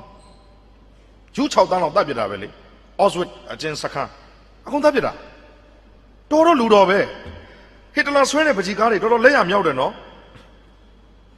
ဟစ်တလာဆွဲတဲ့ပကြီးကားအမှုပညာစိတ်လည်းရှိတယ်နော်စာလည်းအလွန်ဖတ်တယ်လို့သိရတယ်ဟစ်တလာညံလည်းတော်တော်ကောင်းတယ်နော်ဟောတယ်ပြောတဲ့နေရာမှာလည်းသူကဆရာ သူ့ကိုသဘောတူလက်ခံအောင်ပြောတဲ့နေရာမှာတတ်ထားတဲ့ခုနပစ္စည်းပစ္စည်းကမျက်မှန်ပါညာဝုံတိုင်းပေါက်ခွဲဒါ action တွေပေါ့ဗျာမိုက်တယ်သူကအဲ့ဒီနည်းနဲ့သူ့ရဲ့ပါတီကအောင်မြင်တာအပြောဟောကလည်းကောင်းတယ်လို့ဆိုတဲ့လူတော်ကြီးတယောက်ပဲပြဿနာမကောင်းတာအဲကျွန်တော်တို့တိုင်းပြည်ကျွန်တော်တို့နိုင်ငံမှာလည်းတော်တဲ့သူတွေအများကြီးပဲကဲလွယ်အောင်ပြောမယ်ဗျာကဲဒီကနေ့ကျွန်တော်တို့ဒါဒါဒါဒါယူယူယူပဲနားထောင်ပါเนาะကျွန်တော်လည်းယူယူပဲပြောတာ ကျွန်တော်နိုင်ငံမှာအဖွဲ့အစည်းကဒုက္ခရောက်နေတယ်လက်နဲ့ကင်ထားတဲ့တက်နဲ့ပြည်သူလူထုနဲ့ချားမှာနည်းနည်းလေးအခက်အခဲရှိတယ်တက်လာတဲ့ဒီမိုကရေစီအစိုးရနဲ့တက်နဲ့ချားမှာနည်းနည်းလေးအခက်အခဲရှိတယ်တက်ကလည်းသူ့အတူထင်ထားတာတတ်တတ်ရှိတယ်သူ့ကိုယ်သူမြင်ထားတာတတ်တတ်ရှိတယ်အခြေအနေကအဲ့တော့ဒီလိုတက်မှာဘူကျုပ်တယောက်ဖြစ်လောက်တဲ့အထိတက်လာတဲ့သူတွေဒီတာမန်တော့မဟုတ်ပါဘူးတော်ပါတယ်တော်လို့ပါ အကြမ်းမြင်ပြောရင်ဟုတ်တယ်နော်လက်ခံတယ်နော်ကျွန်တော်တို့တော်လို့ပါဒါပေမဲ့ကျွန်တော်ဆက်ပြောချင်တဲ့စကားပါလေသူတို့တော်ယုံမဲတော်တာမကောင်းဘူးမကောင်းကြဘူးလက်ခုပ်တရားပြောတာမျိုးမဟုတ်ပါဘူးမကောင်းကြဘူးဒီနေ့တိုင်းပြည်ရဲ့အခြေအနေကအတက်ပြောလိုက်ရင်ဘိုးချုပ်မူကြီးမင်းအောင်လှိုင်ရဲ့သဘောထားပေါ်မှာမူတည်တယ်နော်ဖြစ်လာအောင်အကောင့်ထဲပေါ်ပေးနိုင်စွမ်းရှိတာကဒေါအောင်ဆန်းစုကြည်ဖြစ်ခွင့် ခလုတ်ကိုရက်စော်နိုးခလုတ်ကိုကင်ထားတာကကာဝေးဦးစီးချုပ်ကာဝေးဦးစီးချုပ်တယောက်တည်းပြောင်းယုံနဲ့ဒီနိုင်ငံပြောင်းတယ်ကျွန်တော်ရိုးရိုးပြောတာနော်ကာဝေးဦးစီးချုပ်ရဲ့အသက်ဟာကျွန်တော်ဦးကြီးသားချင်းအရွယ်ပါကျွန်တော်ရိုးသေးသေးပြောတာပါဟောမှမခံပြောတာမဟုတ်ဘူးသူတယောက်တည်းပြောင်းယုံနဲ့ဒီနိုင်ငံပြောင်းတယ်ဟုတ်ပါသလားကျွန်တော်ပြောတာလက်ခံနိုင်ပါသလားသူပြောင်းရင်ပြောင်းတယ်ဒီနိုင်ငံ သူကလူတော်တယောက်ပဲတိုင်းမဲ့သူ့မှာခုနကပြောတဲ့တွေ့ညီမှုတွေရှိမှာပေါ့နော်ကျွန်တော်ဒီចောင်းသားတွေဖြစ်တဲ့အတွက်ကျွန်တော်အများကြီးမပြောလို့ပါဘူးတခါတည်းကျွန်တော်ကျွန်တော်နဲ့အစားထုတ်ပြီးတော့စဉ်းစားတယ်ဟောငါးပါးကဝေးဦးစီးချုပ်ဆိုရင်ကောင်းပါလို့ကျွန်တော်ဆိုရင်တော့ရှင်းတယ်အမကြီးကိုယ့်တဲ့10နှစ်လောက်ကြီးတယ်လေတောင်ဆန်းစုကြည်ကကာဝေးဦးစီးချုပ်နဲ့တွေ့အမကြီးအမနဲ့ကျွန်တော်နဲ့မောင်နှမပါဗျာတက်ကလည်းအမအဖေထူထောင်သွားတဲ့တက်ပါခုကဘာလည်းအမကိုအမမအမပါပဲ ပြည်သူလူထုကလည်းအမမအမပါပဲဒါပေမဲ့အမရဲ့ကျွန်တော်တို့တက်ကလည်းတက်မှာတက်ဖဲဆိုတာရှိတယ်အမရဲ့ချိန်နေလဲကြာပြီအမရဲ့တိုင်းပြည်လည်းကောင်းစေချင်တာပါပြီအဲ့တော့ကျွန်တော်တို့အလုပ်ကလေးလုပ်အောင်ဒါတွေဒါတွေအမမထိနဲ့ဒါတွေကနတ်နေကိုင်းနေအမဒါတွေမထိနဲ့ဒါတွေကိုကျွန်တော်လာရောလိုက်မယ်အမလူတွေအမထိန်းထားကျွန်တော်လူတွေလည်းကျွန်တော်ထိန်းထားမယ်ဖြစ်မလားမ တနားရီတော့မကြပါဘူးဗျာတကယ်ညှိရင်ကျဲကျွေတာကိုမြင်လိုက်တဲ့သူနဲ့မမြင်လိုက်တဲ့သူတစ်စက္ကန့်ပဲခြားတယ်အောင်မြင်မှုရတဲ့သူနဲ့ရှုံးနေသွားတဲ့သူတစ်စက္ကန့်ပဲခြားတယ်ပန်းဝင်သွားတဲ့သူနဲ့ခြေချော်သွားတဲ့သူတစ်စက္ကန့်ပဲခြားတယ်ရှင်သန်နေစဲလူနဲ့ကွယ်လွန်သိဆုံးသွားတဲ့သူတစ်စက္ကန့်ပဲခြားတယ်အသေးငယ်ဆုံးယူနေရစက္ကန့်မို့လို့ကျွန်တော်ကစက္ကန့်ကိုပြောရတာလေ ဒီစက္ကန့်လေးပဲသွားနေတာမဟုတ်ဘူးလားဒီစက္ကန့်လေးသွားနေတာပြောင်းလဲခြင်းနဲ့မပြောင်းလဲခြင်းကြားမှာလဲတစ်စက္ကန့်ပဲအမကြီးကျွန်တော်ဒါတွေဒါတွေတာဝန်ယူတယ်အမအားဒါတွေအားဒါတွေအားလုံးတာဝန်ယူအမလူတွေအမထိန်းထားကျွန်တော်လူတွေကျွန်တော်ထိန်းထားမယ်အမရဲ့ဗိုလ်ချုပ်မူကြီးတန်းရွှေတက်ကြီးပါပြီသူ့တော်အမရဲ့နတ်နေကိုင်းအနေနဲ့ထားလိုက်တော့သူ့လမ်းသူသွားပါလိမ့်မယ်အမရဲ့ဟုတ်တယ်လေသူ့လမ်းသူသွားမှာလေကိုလိုက်သွားလို့မရဘူးသူ့လမ်းသူသွားမှာအမရဲ့သူလန်းသူသွားပါလိမ့်မယ်အေးပါငါမောင်ရဲ့အမလည်းအဲ့ဒါတွေဒုက္ခပေးဖို့ စိတ်ကူးမရှိပါဘူးအမကလည်းငကိုတွေကမေတ္တာသမားပါသိမခတ်ဘူးသိမခတ်ဘူးဒီအခြေအနေတွေကိုမြင်လို့ဆရာတော်တွေတန်ခါတွေတောင်ဝင်လာပြီးတော့တိုင်းပြည်အခြေအနေကိုပြောရတယ်အခုမုံဆွဲဆိုတဲ့ရုပ်ရှင်အရှင်စန္ဒာတိကရဲ့ဇလန်းဆရာတော်ရဲ့အစီအစဉ်နဲ့ရိုက်ခိုင်းတာရိုက်ရတယ်နေတိုးတို့ကြော်ကြော်ဘိုတို့မင်းသွေးမင်းသွေးလေးတည်သွားရှာပြီဖွေးဖွေးမအေးတောင်းကောင်းတယ်ဇလန်း။ဘာလဲရွယ်ချက်ကအမုန်းနေနဲ့မဆွဲကြပါနဲ့။ရပ်ပါ။ တန်တရားတစ်ချောင်းလုံးအမုန်းနေနဲ့ဆွဲဆွဲထားပြီ။ဒါဆရာတော်ကမနေနိုင်လို့ဒါလေးရအဲ့ရှိမှရှိတယ်။အရှင်စေကိန္ဒရဲ့ဘိသိက်ပြကြည့်ဘူးမှထင်တယ်။ဘိသိက်ပြိုင်လေ။ဇာသားကြီးစိန်တဟန်နဲ့တူတယ်နော်။ဘိသိက်ပြိုင်အရှင်စေကိန္ဒရဲ့လမ်းညွန်ချက်နဲ့ရိုက်တဲ့ဟာမာမာနတွေကိုပြိုင်မနေပါနဲ့ထားလိုက်ပါတူကိုတူဟိုចောင်းသားတွေဆိုတော့အင်္ဂလိပ်လိုပြောလို့လည်းရပါတယ် due respect mutual respect အပြန်အလှန်လေးစားမှုထားလိုက်ရင်အဆင်ပြေတယ်မင်းဘက်ကလည်းနည်းနည်း short မင်းဘက်ကလည်းနည်းနည်း short ဒါဆရာတော်တွေတန်ခါတော်တွေကမနေနိုင်လို့ဆရာတော်တန်ခါတော်စကားဝင်ပြောတာဟိုနိုင်ငံရေးစကားတွေမပြောဘူးလေသူတို့ကမေတ္တာလေးထားကြပါနော်စောစောကကျွန်တော်ပြောတဲ့အဓိပ္ပာယ်ဒီဒီနိုင်ငံရဲ့အပြောင်းလဲဟာခုနကောင်းဖို့ဒီနှလုံးသားလေးကောင်းဖို့ဒါကြောင့်ဒီစာပေအမှုပညာနဲ့ပတ်သက်လို့ကျွန်တော်တို့ဒီစကားတွေပြောနေရတာဒီနှလုံးသားလေးတွေကိုပြုတ်ပြင်နိုင်ဖို့ အဲ့အဲ့ဒီနှလုံးသားကိုပြုတ်ပြင်ပေးနိုင်တာကနှစ်ခုပဲရှိမှာဘာသာတရားနဲ့စာပေနဲ့အဲ့လူဟာအနုပညာနဲ့နီးကျင်နီးမနီးရင်တရားဓမ္မနဲ့နီး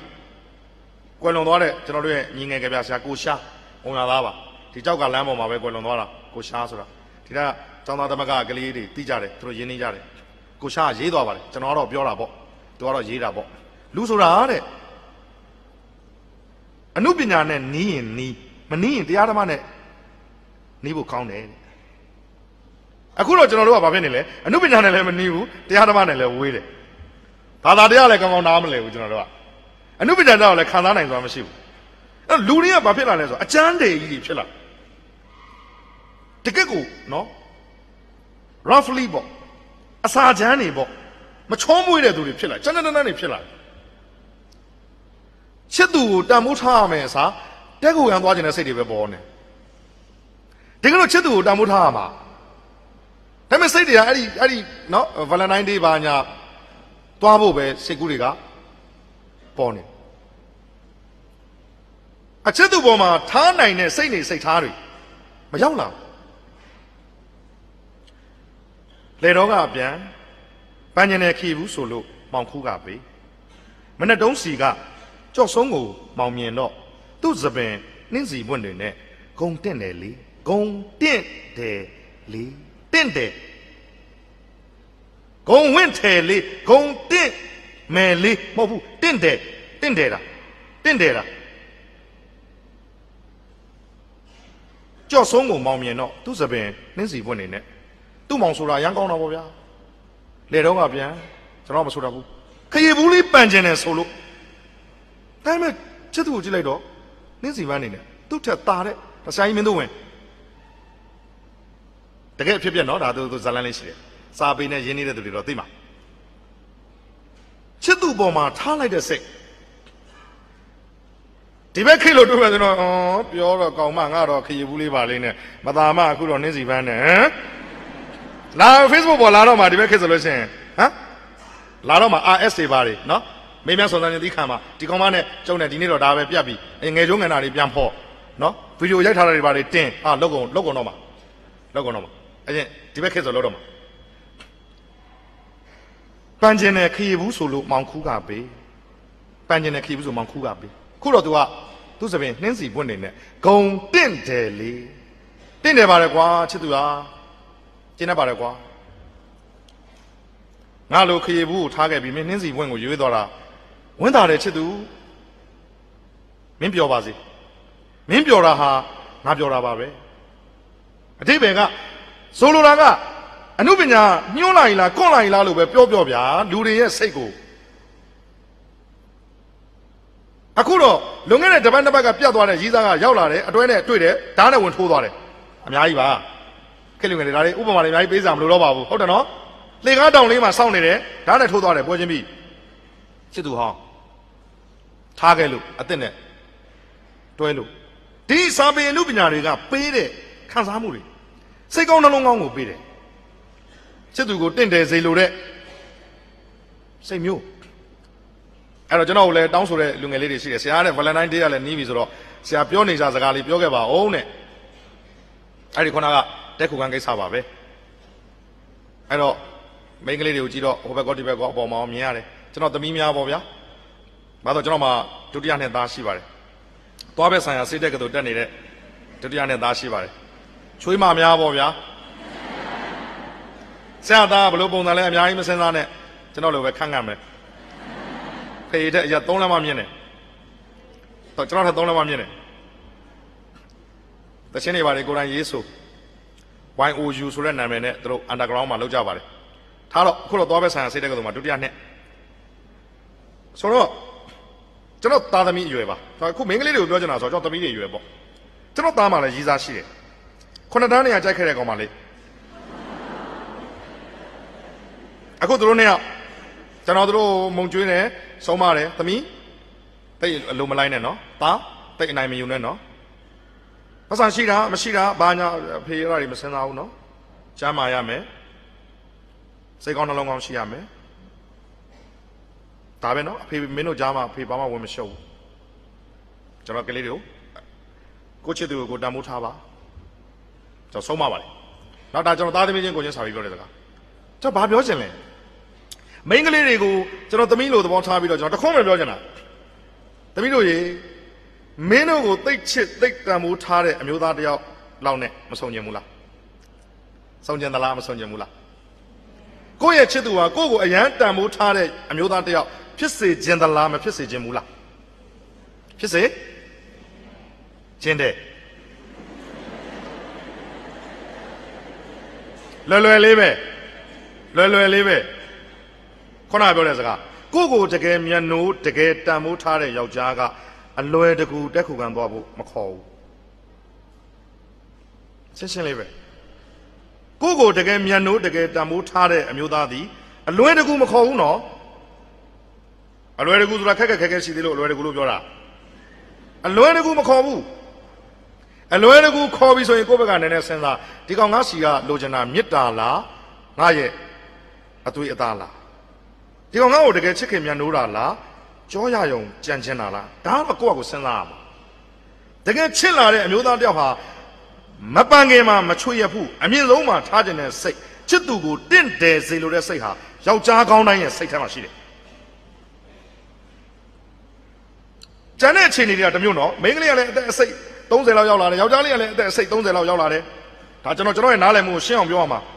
နှစ်ဖက်မိဘကလည်းဒီမိန်းကလေးကိုအားကိုးနေရတယ်ဒီဘက်မိဘကလည်းဒီယောက်ျားလေးကိုအားကိုးနေရတယ်အဲ့ဒီမှာသူတို့နှစ်ယောက်လက်ထပ်လိုက်လို့ရှိရင်အင်းကဖေကိုပြန်ကြံခဲ့မယ်အဲ့တော့တော်တော်နဲ့လက်မထနိုင်ကြဘူးဒါပေမဲ့နှစ်ယောက်အတူတူကဲထားပါတော့ကဲတက်ကတူကြောင်းသားဆိုတက်တယ်ပဲပြောလို့ရပါတယ်ကဲ living together နေတယ်နားလည်ပေးလို့ရသေးတယ်နော်မိဘတွေရှိတဲ့ခါကျတော့အရွယ်ရသွားပြီ30 35 အချိန်နေရမိလူချင်းမိဘတွေဦးစားပေးနေရတာဖြစ်တဲ့အတွက်သဘောတစ်ခုကအခုဒီအရွယ်လေးနဲ့ဒီ19 20အရွယ်လေးနဲ့ဘာမှညာမှမသေးကြတဲ့ဟာနေနဲ့စိတ်အလိုကိုလိုက်ပြီးဒါဆိုရင်တော့ဒါအချစ်စစ်အချစ်မှန်တမိုးထားတဲ့တင့်တယ်စီလိုတဲ့အချစ်မဖြစ်နိုင်ကျွန်တော်ဒီလောက်ပဲပြောခွင့်ရှိမယ်ထင်ပါတယ်အဲ့တော့သမီးတွေကစဉ်းစားဖို့ပါเนาะအမျိုးသားဖြစ်တဲ့ကျွန်တော်ရဲ့ကလေးတွေကကလေးမလေးငင်းဆန်နေတာကိုတော့သူတို့ဇွတ်မဖန်တီးတော့ပါဘူး ဖန်တီးရင်လည်းပုံမှန်တွေရှိပါတယ်နော်ဖန်တီးရင်ပုံမှန်တွေရှိတယ်အကူက yes or no နော်အန်တီကတော့ yes ပါလားအန်တီကတော့ no ပါလားဆိုတော့ကိုယ့်ပေါ်မူတည်တယ်ဒါပေမဲ့ဒီနေ့ခေတ်မှာတွေ့နေရတာအန်တီကတော့ yes ပါဆိုတဲ့လူတွေတော်များနေတယ်ဒါဟာကျွန်တော်ကစောစောကပြောတဲ့ခေတ်ကာလကရွေလျောသွားတဲ့အခါကျတော့ပျက်စီးသွားတဲ့အခြေအနေတွေပါအီဂျူလို့ခေါ်တဲ့နှလုံးသား ခံစားမှုတွေဆုံးရှုံးသွားတယ်ကောင်လေးကလည်းတန်ဖိုးထားဖို့မကြိုးစားတော့သလိုမိန်းကလေးကလည်းလေးလေးနက်နက်မတွေးတတ်ဘူးတဒင်ကကိုမကြော်နိုင်ဘူးတဒင်ကကိုမကြော်နိုင်ဘူးဆရာရဲ့အဲ့လိုအသည့်တွေအကုန်ရှိမှတော့တနိုင်ငံလုံးလိန်မာကုန်တော့မှာပေါ့ဟုတ်ပါတယ်ကျွန်တော်အသက်အရွယ်ကိုကျွန်တော်ပြောပြီးသားပါဆရာတို့တုန်းကရောကင်းရှင်းခဲ့သလားမကင်းပါဘူးဘလို့ကြော်ပြရတယ်လဲ အမျိုးသားတစ်ယောက်နဲ့အမျိုးသမီးတစ်ယောက်ရဲ့ပတ်သက်ဆက်နွယ်မှုဟာရုပ်ရည်ပေါ်မှာကြီးပဲအများအားမတည်ဘူးနော်ကျွန်တော်ရုပ်အားလုံးမြင်နေတာပဲချောမှမချောပဲဒါပေမဲ့ကျွန်တော်လူကောင်ကိုလည်းသဘောကျတဲ့အမျိုးသမီးတွေရှိတယ်နော်နောက်တာမဟုတ်ဘူးကျွန်တော်အတီးပြောတာဆရာဥဒါချိုးသဘောကျတဲ့အမျိုးသမီးတွေလည်းရှိတယ်နော်ဟာဆရာလည်းဆရာအရမပူလားပူတယ်ဆရာညီမင်းညောကမမဲဘူးလားမဲတယ်အမျိုးသားနဲ့အမျိုးသမီးရဲ့စိတ်ခံစားချက်ကမတူဘူး အမျိုးသားတွေကနည်းနည်းလေးစန္ဒများတယ်အရာမောင်းလေးကကောင်းအောင်မှကိုလုံးလေးကလှအောင်မှစပင်လေးရှင်နေရင်ပူကြိုက်တယ်နော်ပညာတတ်တာလေးပစ္စည်းဥစ္စာရှိတာလေးယောက်ျားတွေကတော်တော်ရွေးတယ်အမျိုးသမီးတွေကကျတော့အဲ့လိုမဟုတ်ဘူးတစ်ခုကြိုက်ရင်သူတို့က100%ပဲညီမင်းညိုကိုပြောတာဟောတာပြောတဲ့စကားပြောတဲ့ပုံစံကြိုက်တယ်ဆိုရင်အဲ့ဒီအမျိုးသမီးကကျွန်တော်ကိုသူကချစ်တယ် ဘာလို့လဲဆိုကတော့ရုပ်ကိုမချစ်ဘူးနော်ပတ်စံဆင်းရတဲ့ခါကျတော့ပတ်စံနေတာတွေမက်လို့မရဘူးဘာမရဘူး तू ဘာဖြစ်လဲကျွန်တော်နဲ့တွေ့ရင် तू ပြောတယ်ကျွန်တော်ပြောနေတာလေ तू ငေးငေးကြည့်ပြီးတော့ရှင်သိပ်ပြောကောင်းတာပဲအဲ့တော့အမျိုးသမီးတွေကတခုပဲရွေးတယ်အမျိုးသားတွေကအကုန်ရွေးတယ်ဒါကြောင့်မို့လို့နော်ကျွန်တော်တို့လိုပုံစိုးပန်းစိုးတွေမှာလည်းချစ်ခင်ကျင်နာမဲ့သူတွေကရှိတယ်အခုအိမ်အောင်သက်က220ရလာပြီ ဇနီးတဲ့ဝတ်မုံရွှေကြီးကျွန်တော်ဇနီးတဲ့ကျွန်တော်တငယ်ချင်းအကယ်ဒမီနဲ့ဆုရတဲ့ဝတ်မုံရွှေမဟုတ်ပါဘူးကျွန်တော်အများအားပြောပါတယ်ရွှေကြီးကျွန်တော်ချစ်သူရွှေကြီးပေါ့ကျွန်တော်ရဲ့ဇနီးတဲ့ရွှေကြီးလွန်ခဲ့တဲ့နှစ်20ကကဘာမှာသူလှဆုံးပါလွန်ခဲ့တဲ့နှစ်20ကအခုတော့ तू ဟာလွဲရင်ချမ်းတဲ့မျိုးသမီးတွေကတော်တော်ကိုကြည့်ကောင်းနေတယ်ကျွန်တော်ရွှေကြီးလေးကနှစ်20အတွင်းမှာဝက်တကောင်လိုဝလာတယ်ဗျ မျက်မှန်ကြီးတကားကားနဲ့မျက်စိကလည်းမှုံတော့ဝက်လိုဝပြီးမျက်စိမှုံနဲ့ရွှေကြီးမို့လို့ကျွန်တော်တို့ဝက်မှုံရွှေကြီးလို့နာမည်ပေးထားတယ်ဝက်မှုံရွှေကြီးမဟုတ်ဘူးအဲ့တော့ကျွန်တော်ခုနကစိတ်ကလေးကိုပြောချင်တာပါကျွန်တော်တို့ဒီအသက်အရွယ်မှာအလုပ်တွေလုပ်ရတယ်သွားရတယ်ကျွန်တော်နိုင်ငံကျွန်တော်ခုနှစ်နိုင်ငံရောက်ဖူးတယ်ပြည်ပနိုင်ငံခုနှစ်နိုင်ငံရောက်ဖူးတယ်ဒီနာထိုင်းကနေစပြီးအမေရိကအထိခုနှစ်နိုင်ငံရောက်ဖူးတယ်မြန်မာပြည်တန်တနိုင်ငံလုံးနှံ့တယ် သူသဖြင့်နိုင်ငံသားပေါ့တဏ္ဍာဖာမှာအခမ်းတဲ့သူတွေရှိတယ်ကျန်းကျန်းဖန်ဖန်အခန္ဓာအခုမှဥပမာထိုင်းလိုဟာမျိုးပေါ့ရှားရီခုနိုင်တော့နှုတ်ဆက်တော့ဆရာဒီညပျော်တော့ဆရာအိမ်ကထွက်လာတာဘယ်လောက်ချပြီလဲအေးကျွန်တော်အိမ်ကထွက်လာတာနှစ်ပတ်ဗျနှစ်ပတ်ပြီးတော့အထုပ်ကလေးချပြီးခင်ဗျားတို့လေစိတ်ကိုတန်းဆင်းပြီးတော့လာတာပါဆရာဒါဖြင့်ဝတ်မွှေရွှေလေးကိုဆရာနှုတ်တော်မဆက်လိုက်ရဘူးပေါ့အေးအာဝါလေးတော့ပေးခဲ့တာပေါ့ဗျာဒီလောက်ပဲဟိုတယ်တကားဖွင့်လိုက်တော့အထဲမှာပေါင်ဖြူဖြူလေးနဲ့ အသက်20ကျော်ကောင်းမလေးတယောက်ဟမ်ဘာလို့တာလဲတာအားတဲ့ဆရာလဲတဲ့ဆရာပဲအိမ်နဲ့နှစ်ပတ်လောက်ရှိပြီဆိုတဲ့ပျော်ပါဆရာရဲ့ကျွန်တော်တို့ကဒါအခန္ဓာပါဆရာဘယ်သူမှပြန်မပြောပါဘူးဆရာရဲ့သူကပြန်မပြောဘူးဒီဒီကတနိုင်ငံလုံးသိနေပြီ live မလွင့်တာကံကောင်းကျွန်တော်တော့ဒါတွေကယူမဆိုင်ပါဘူးအာညီမင်းညိုကအဲ့လိုတဲ့ ခမည်းထင်တာနေမှာပါညီမင်းညိုကဟိုလိုတဲ့ခမည်းထင်တာနေမှာပါအမှန်တရားကကျွန်တော်သိပါတယ်ခမည်းထင်တာကတော့ခမည်းအထင်တိုင်းပဲရှိပါစေအထင်ဆိုတာတကယ်မှမဟုတ်ပဲအထင်ကြီးတယ်ခမည်းကြီးပေါ့ထင်သေးတယ်ကွာသေးပေါ့မင်းခွင်ရေးပဲဒါငါမင်းရဲ့ကြီးချင်းသေးချင်းပေါ်မှာရှုံလိုက်ပွားလိုက်လုံနေတဲ့ဘောလုံးတစ်လုံးမဟုတ်ဘူးငါမူဝါဒနဲ့ငါယက်တည်နေတဲ့ ငါခံယူချက်နဲ့ငါငါပညာနဲ့ငါငါနှလုံးသားနဲ့ငါငါရဲ့လောကကိုချစ်တဲ့စိတ်နဲ့ငါယက်တည်နေသောလူတစ်ယောက်ဖြစ်တယ်မင်းထင်တာမင်းပိုင်းမှာငါလောက်ရက်ကငါတော့ငါအပိုင်းမှာထားပါတော့ကျွန်တော်ငယ်ငယ်တုန်းကရွေးခဲ့တာတွေအများကြီးရှိပါတယ်နော်မကျူးလွန်မဲနဲ့ကျွန်တော်အဲ့ဒီမိမပြက်လို့အိမ်ကနေထွက်လာတာတွေအများကြီးရှိတယ်ပစိုးလေးခြုံပြီးထွက်လာတဲ့ထဲမှာကျွန်တော်ပါတယ်ရက်ကွက်ကတန်းစီပြီးကျွန်တော် AIDS နဲ့သေမဲ့ကောင်းနေခင်ဗျားတို့လိုတက်ကစိုးចောင်းသားဘွား AIDS နဲ့သေမဲ့ကောင်းနေဟုတ်တယ် အဲ့ဒီထက်ကနှစ်ကောင်သုံးကောင်သေသွားပြီ AIDS ပဲပစိုး9ယောက်ခြုံလာတာပေါ့ဒါပေမဲ့ကျူးလွန်တာ4ယောက်ကျူးလွန်တဲ့ထဲမှာကျွန်တော်မပါဘူးဒါပေမဲ့သူတို့နဲ့အတူတူသွားတော့ကျွန်တော်လည်းရောပြောခံရတာပဲလေဒါပေမဲ့ကျွန်တော်အဲ့လိုမျိုးတွေကို view site လည်းမရှိဘူးအရေးကြီးတာကျွန်တော်ကိုယ်နှလုံးသားကိုပဲကိုယ်အာယုံပြုတယ်ဒါကတော့ငါလိန်တာဒါကတော့ငါညာတာဒါကတော့ငါရုပ်မာတာဒါကတော့ငါဒေါသဖြစ်တာကျွန်တော်ကိုယ့်ကိုယ်အမြဲတမ်းကြည့်တယ်မှားသွားရင်ချက်ချင်းတောင်းမှန်တယ်စောတော့ကအမွေးတိုင်ကိစ္စလိုမျိုး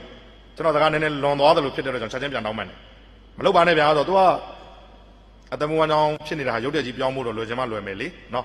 တခြားဟာနဲ့စီစဉ်ပေးပြီးတော့နိုင်ငံတော်ကစဉ်းစားတယ်နော်အမွေးတိုင်လုပ်ငန်းရှင်တွေကိုတခြားဟာပြောင်းပေးဖို့နိုင်ငံတော်ကစဉ်းစားတယ်နော်မအောင်မြင်တာကျွန်တော်စကားတွေကိုရမ်းပြီးပြောတာမဟုတ်ပါဘူးမအောင်မြင်တာပါခုနစကားလေးကိုဆက်အောင်ကောင်းမလေးတယောက်ထိုင်းမလေးလားဗီယက်နမ်မလေးလားနော်ဖောက်ထုတ်လေးလားဘာလေးလားညာလေးလားဟေးဆရာရဲ့ပြန်မပြောပါဘူးဆရာလည်းအိမ်နဲ့ဝေးနိုင်ကြပြီဆရာအတွက်စီစဉ်ထားတာပါဆရာပျော်စမ်းပါ ချောချောလေးဗျာကဲအသက်ကလေးကလည်း20စိတ်ဗျာကဲကျွန်တော်ဂျွန်းနေထိုးနေတာဗောစိတ်ထဲမှာဂျွန်းနေလှိမ့်ပိတ်ထိုးနေတာဗောဂျွန်းထိုးတာဗောမညာဘူးကျွန်တော်ဂျွန်းထိုးတာဗောဟင်းချစ်လှလှလေးလှလှလေးဂျွန်းနေထိုးနေပြီစိတ်ထဲမှာဒါပေမဲ့ကျွန်တော်လက်တွေ့ဆောင်ရွက်ဖို့ကာယကံမြောက်ဆောင်ရွက်ဖို့မလွယ်ဘူးဟာဟေးလူတွေခင်ဗျားတို့အဲ့ဒါဆိုရင်တော့မှားနေပြီထင်တယ် ခင်ဗျားတို့ကြံတဲ့ဧည့်သည်တွေလာတော့ကဘလို့ပဲဆက်ဆံအခန့်သည်ဖြစ်စေကျွန်တော်တို့တော့အဲ့လိုမလုပ်ပါနဲ့ဆရာလည်းအာနာစာမရှိပါဘူးဆိုကဲဟုတ်ပြီခင်ဗျားကိုကျွန်တော်ရှင်းအောင်ပြောမယ်ဗျာခင်ဗျားလည်းကျွန်တော်အကြောင်းသိတယ်နော်သိပါတယ်ဆရာသိရင်ကဲခင်ဗျားဖုန်းကျွန်တော်ဖုန်းဆက်လို့မရခင်ဗျားဖုန်းရတယ်ဆရာပြောတယ်ဖုန်းတော့ဖုန်းတစ်လုံးဆက်ပြီပြောခွန်ရှစ်3ည3ညခွန်3 3ည3ညကျွန်တော်ကျွန်တော်ဇနီးရဲ့ဖုန်းနံပါတ်တော့ရောင်ပြီးသူခေါ်တယ်ဆရာတော့ဗမာပြည်ဖုန်းနံပါတ်ကြီးတယ်ဟုတ်တယ်လေတော့ဗမာပြည်ဖုန်းနံပါတ်ဘယ်သူနံပါတ်တော့ကျွန်တော်မိမနံပါတ် အပြပြန်ပိတ်တယ်ဟောဝင်သွားပြီတူးဆိုဝင်သွားပြီပြန်ပိတ်အစဘာလို့ခေါ်ခိုင်းတာလဲအမျိုးသမီးကိုလေအမဟုတ်ခက်ခေါ်မရမှာပေါ့လေဗီဒီယိုကောတောင်လိုချင်ကျွန်တော်လိုချင်သေးတာဗီဒီယိုကောလိုချင်သေးတာဘာလို့မလို့လဲဆရာဟာမို့ကျွန်တော်ပြောရမယ်လို့သူဟယ်လိုအေးရွှေရည်မြင်ရလားပုံမြင်ရလားအေးအေးကိုဒီမှာဘန်ကောက်ရောက်နေတယ်အေးမင်းတို့မြင်လားမြင်ဒီမှာပေါင်ဖြူလေးနဲ့ကောင်မလေးမြင်လားမြင်တယ်နော်အေးဂရင်ပေါ်မှာမြင်တယ်နော်အေးအေးကိုဒီနေ့တော့ ဒီမှာလဲကွာအဲ့ခံတဲ့ခါကျတော့ကိုဒီနေ့တော့ပြောလိုက်တော့မယ်နော်အဲ့တော့ကိုကမင်းသိပါတယ်ကိုအကြောင်းကိုကိုချင်းစာစိတ်အများနဲ့ရှိတယ်မတရားတာဘယ်တော့မှကိုမလုပ်ချင်ဘူးအဲ့တော့မင်းလဲဒီညရေသန့်ပို့တဲ့ကောင်နဲ့ပဲဖြစ်ဖြစ်လမ်းထက်ကစိုက်ကားဆရာနဲ့ပဲဖြစ်ဖြစ်မင်းလဲဒီညရွှေရည်မင်းသဘောနော်တတနော်တတနော်ကိုကိုမြတ်တာတယ်နော်တတနော်မိမโอเคဆရာလဲတဲ့မနောက်ပါနဲ့တဲ့ဆရာကလဲတဲ့မနောက်ပါနဲ့ ခင်ဗျားကိုကျွန်တော်နောက်နေတာမဟုတ်ဘူးလို့ကျွန်တော်ဇနီးတဲ့ကိုကျွန်တော်တခြားတစ်ပါးသောဒီလိုမျိုးမမြင်ញင်ဘူးဗျာလို့ကျွန်တော်ဂျွန်းထိုးနေတာတော့မှန်တယ်ဒါပေမဲ့ကျွန်တော်ဇနီးတဲ့ကိုကျွန်တော်အဲ့လိုပုံစံမျိုးကျွန်တော်မမြင်ချင်ဘူးဒါဆိုရင်ကျွန်တော်ကလည်းကျွန်တော်ကိုလည်းသူအဲ့ဒီပုံစံမျိုးမြင်ချင်မယ်မထင်ဘူးလို့ပြန်ခေါ်သွားပါလို့ကျွန်တော်ခင်ဗျားကိုပြင်းပြင်းထန်ထန်စိတ်မဆိုးခင်ပြန်ခေါ်သွားပါပြန်ခေါ်သွားရင်ကျွန်တော်ခင်ဗျားကိုစိတ်ဆိုးကြမှာမရှိပါဘူးခင်ဗျားကျွန်တော်ကိုအခန္ဓာကိုကျွန်တော်တမိုးထားပါတယ်ကျွန်တော်လူငယ်တွေကိုပြောချင်တာက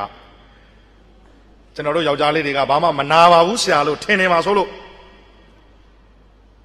တို့ယောက်ျားလေးတွေမှာလည်းတို့ဂုံသိက္ခာနဲ့တို့ရှိပါတယ်ဒါကိုနားလည်ဖို့ဓမ္မိုးထားဖို့လိုပါတယ်ကိုချင်းစာတရားဆိုတာကိုကအဲ့လိုဆိုရင်သူ့ကိုကောအဲ့လိုအဲ့လိုအခွင့်အရေးပေးနိုင်သလားပေးနိုင်လို့အများကြီးပြောနေရှုံးပါသလို့ပေးနိုင်လို့တန်းတူသူတကိုးကိုတကိုးသူနှစ်ကိုးကိုနှစ်ကိုးသွင်းနိုင်မယ်ဆိုလို့ဘောလုံးစကားနဲ့ရှင်းအောင်ပြောလိုက်တာကိုသွင်းတယ်လို့မျိုး နော်ဟိုလိုကြမ်းတမ်းတဲ့အဖြစ်အပျက်ကိုပြောတာမျိုးမဟုတ်ဘူးဒါတော့ကိုချင်းစာတရားဆိုတာကိုနဲ့နှိုင်းရှင်ပြီးတော့ဖြစ်လာတဲ့စိတ်နဲ့စိတ်ထားကိုရွယ်ပါတယ်နော်အဲ့တော့လုံလောက်ပါပြီစကားတွေလုံလောက်ပါပြီဘိုးကျောင်းဆိုင်ရဲ့မွေးနေ့မှာဆရာမောင်သားချိုးကနောက်ကနေပြောမယ်ဒါကြောင့်ဒီဘိုးချုပ်ရဲ့အကြောင်းတွေတော်တော်များများကိုတော့မပြောတော့ဘဲနဲ့ခြံထားခဲ့ပါတယ်အဲ့ဒီထဲမှာမှအံဝေါ်စရာကောင်းတဲ့ဘိုးချုပ်ရဲ့လေးစားစရာကောင်းတဲ့ချက်ကပါလဲ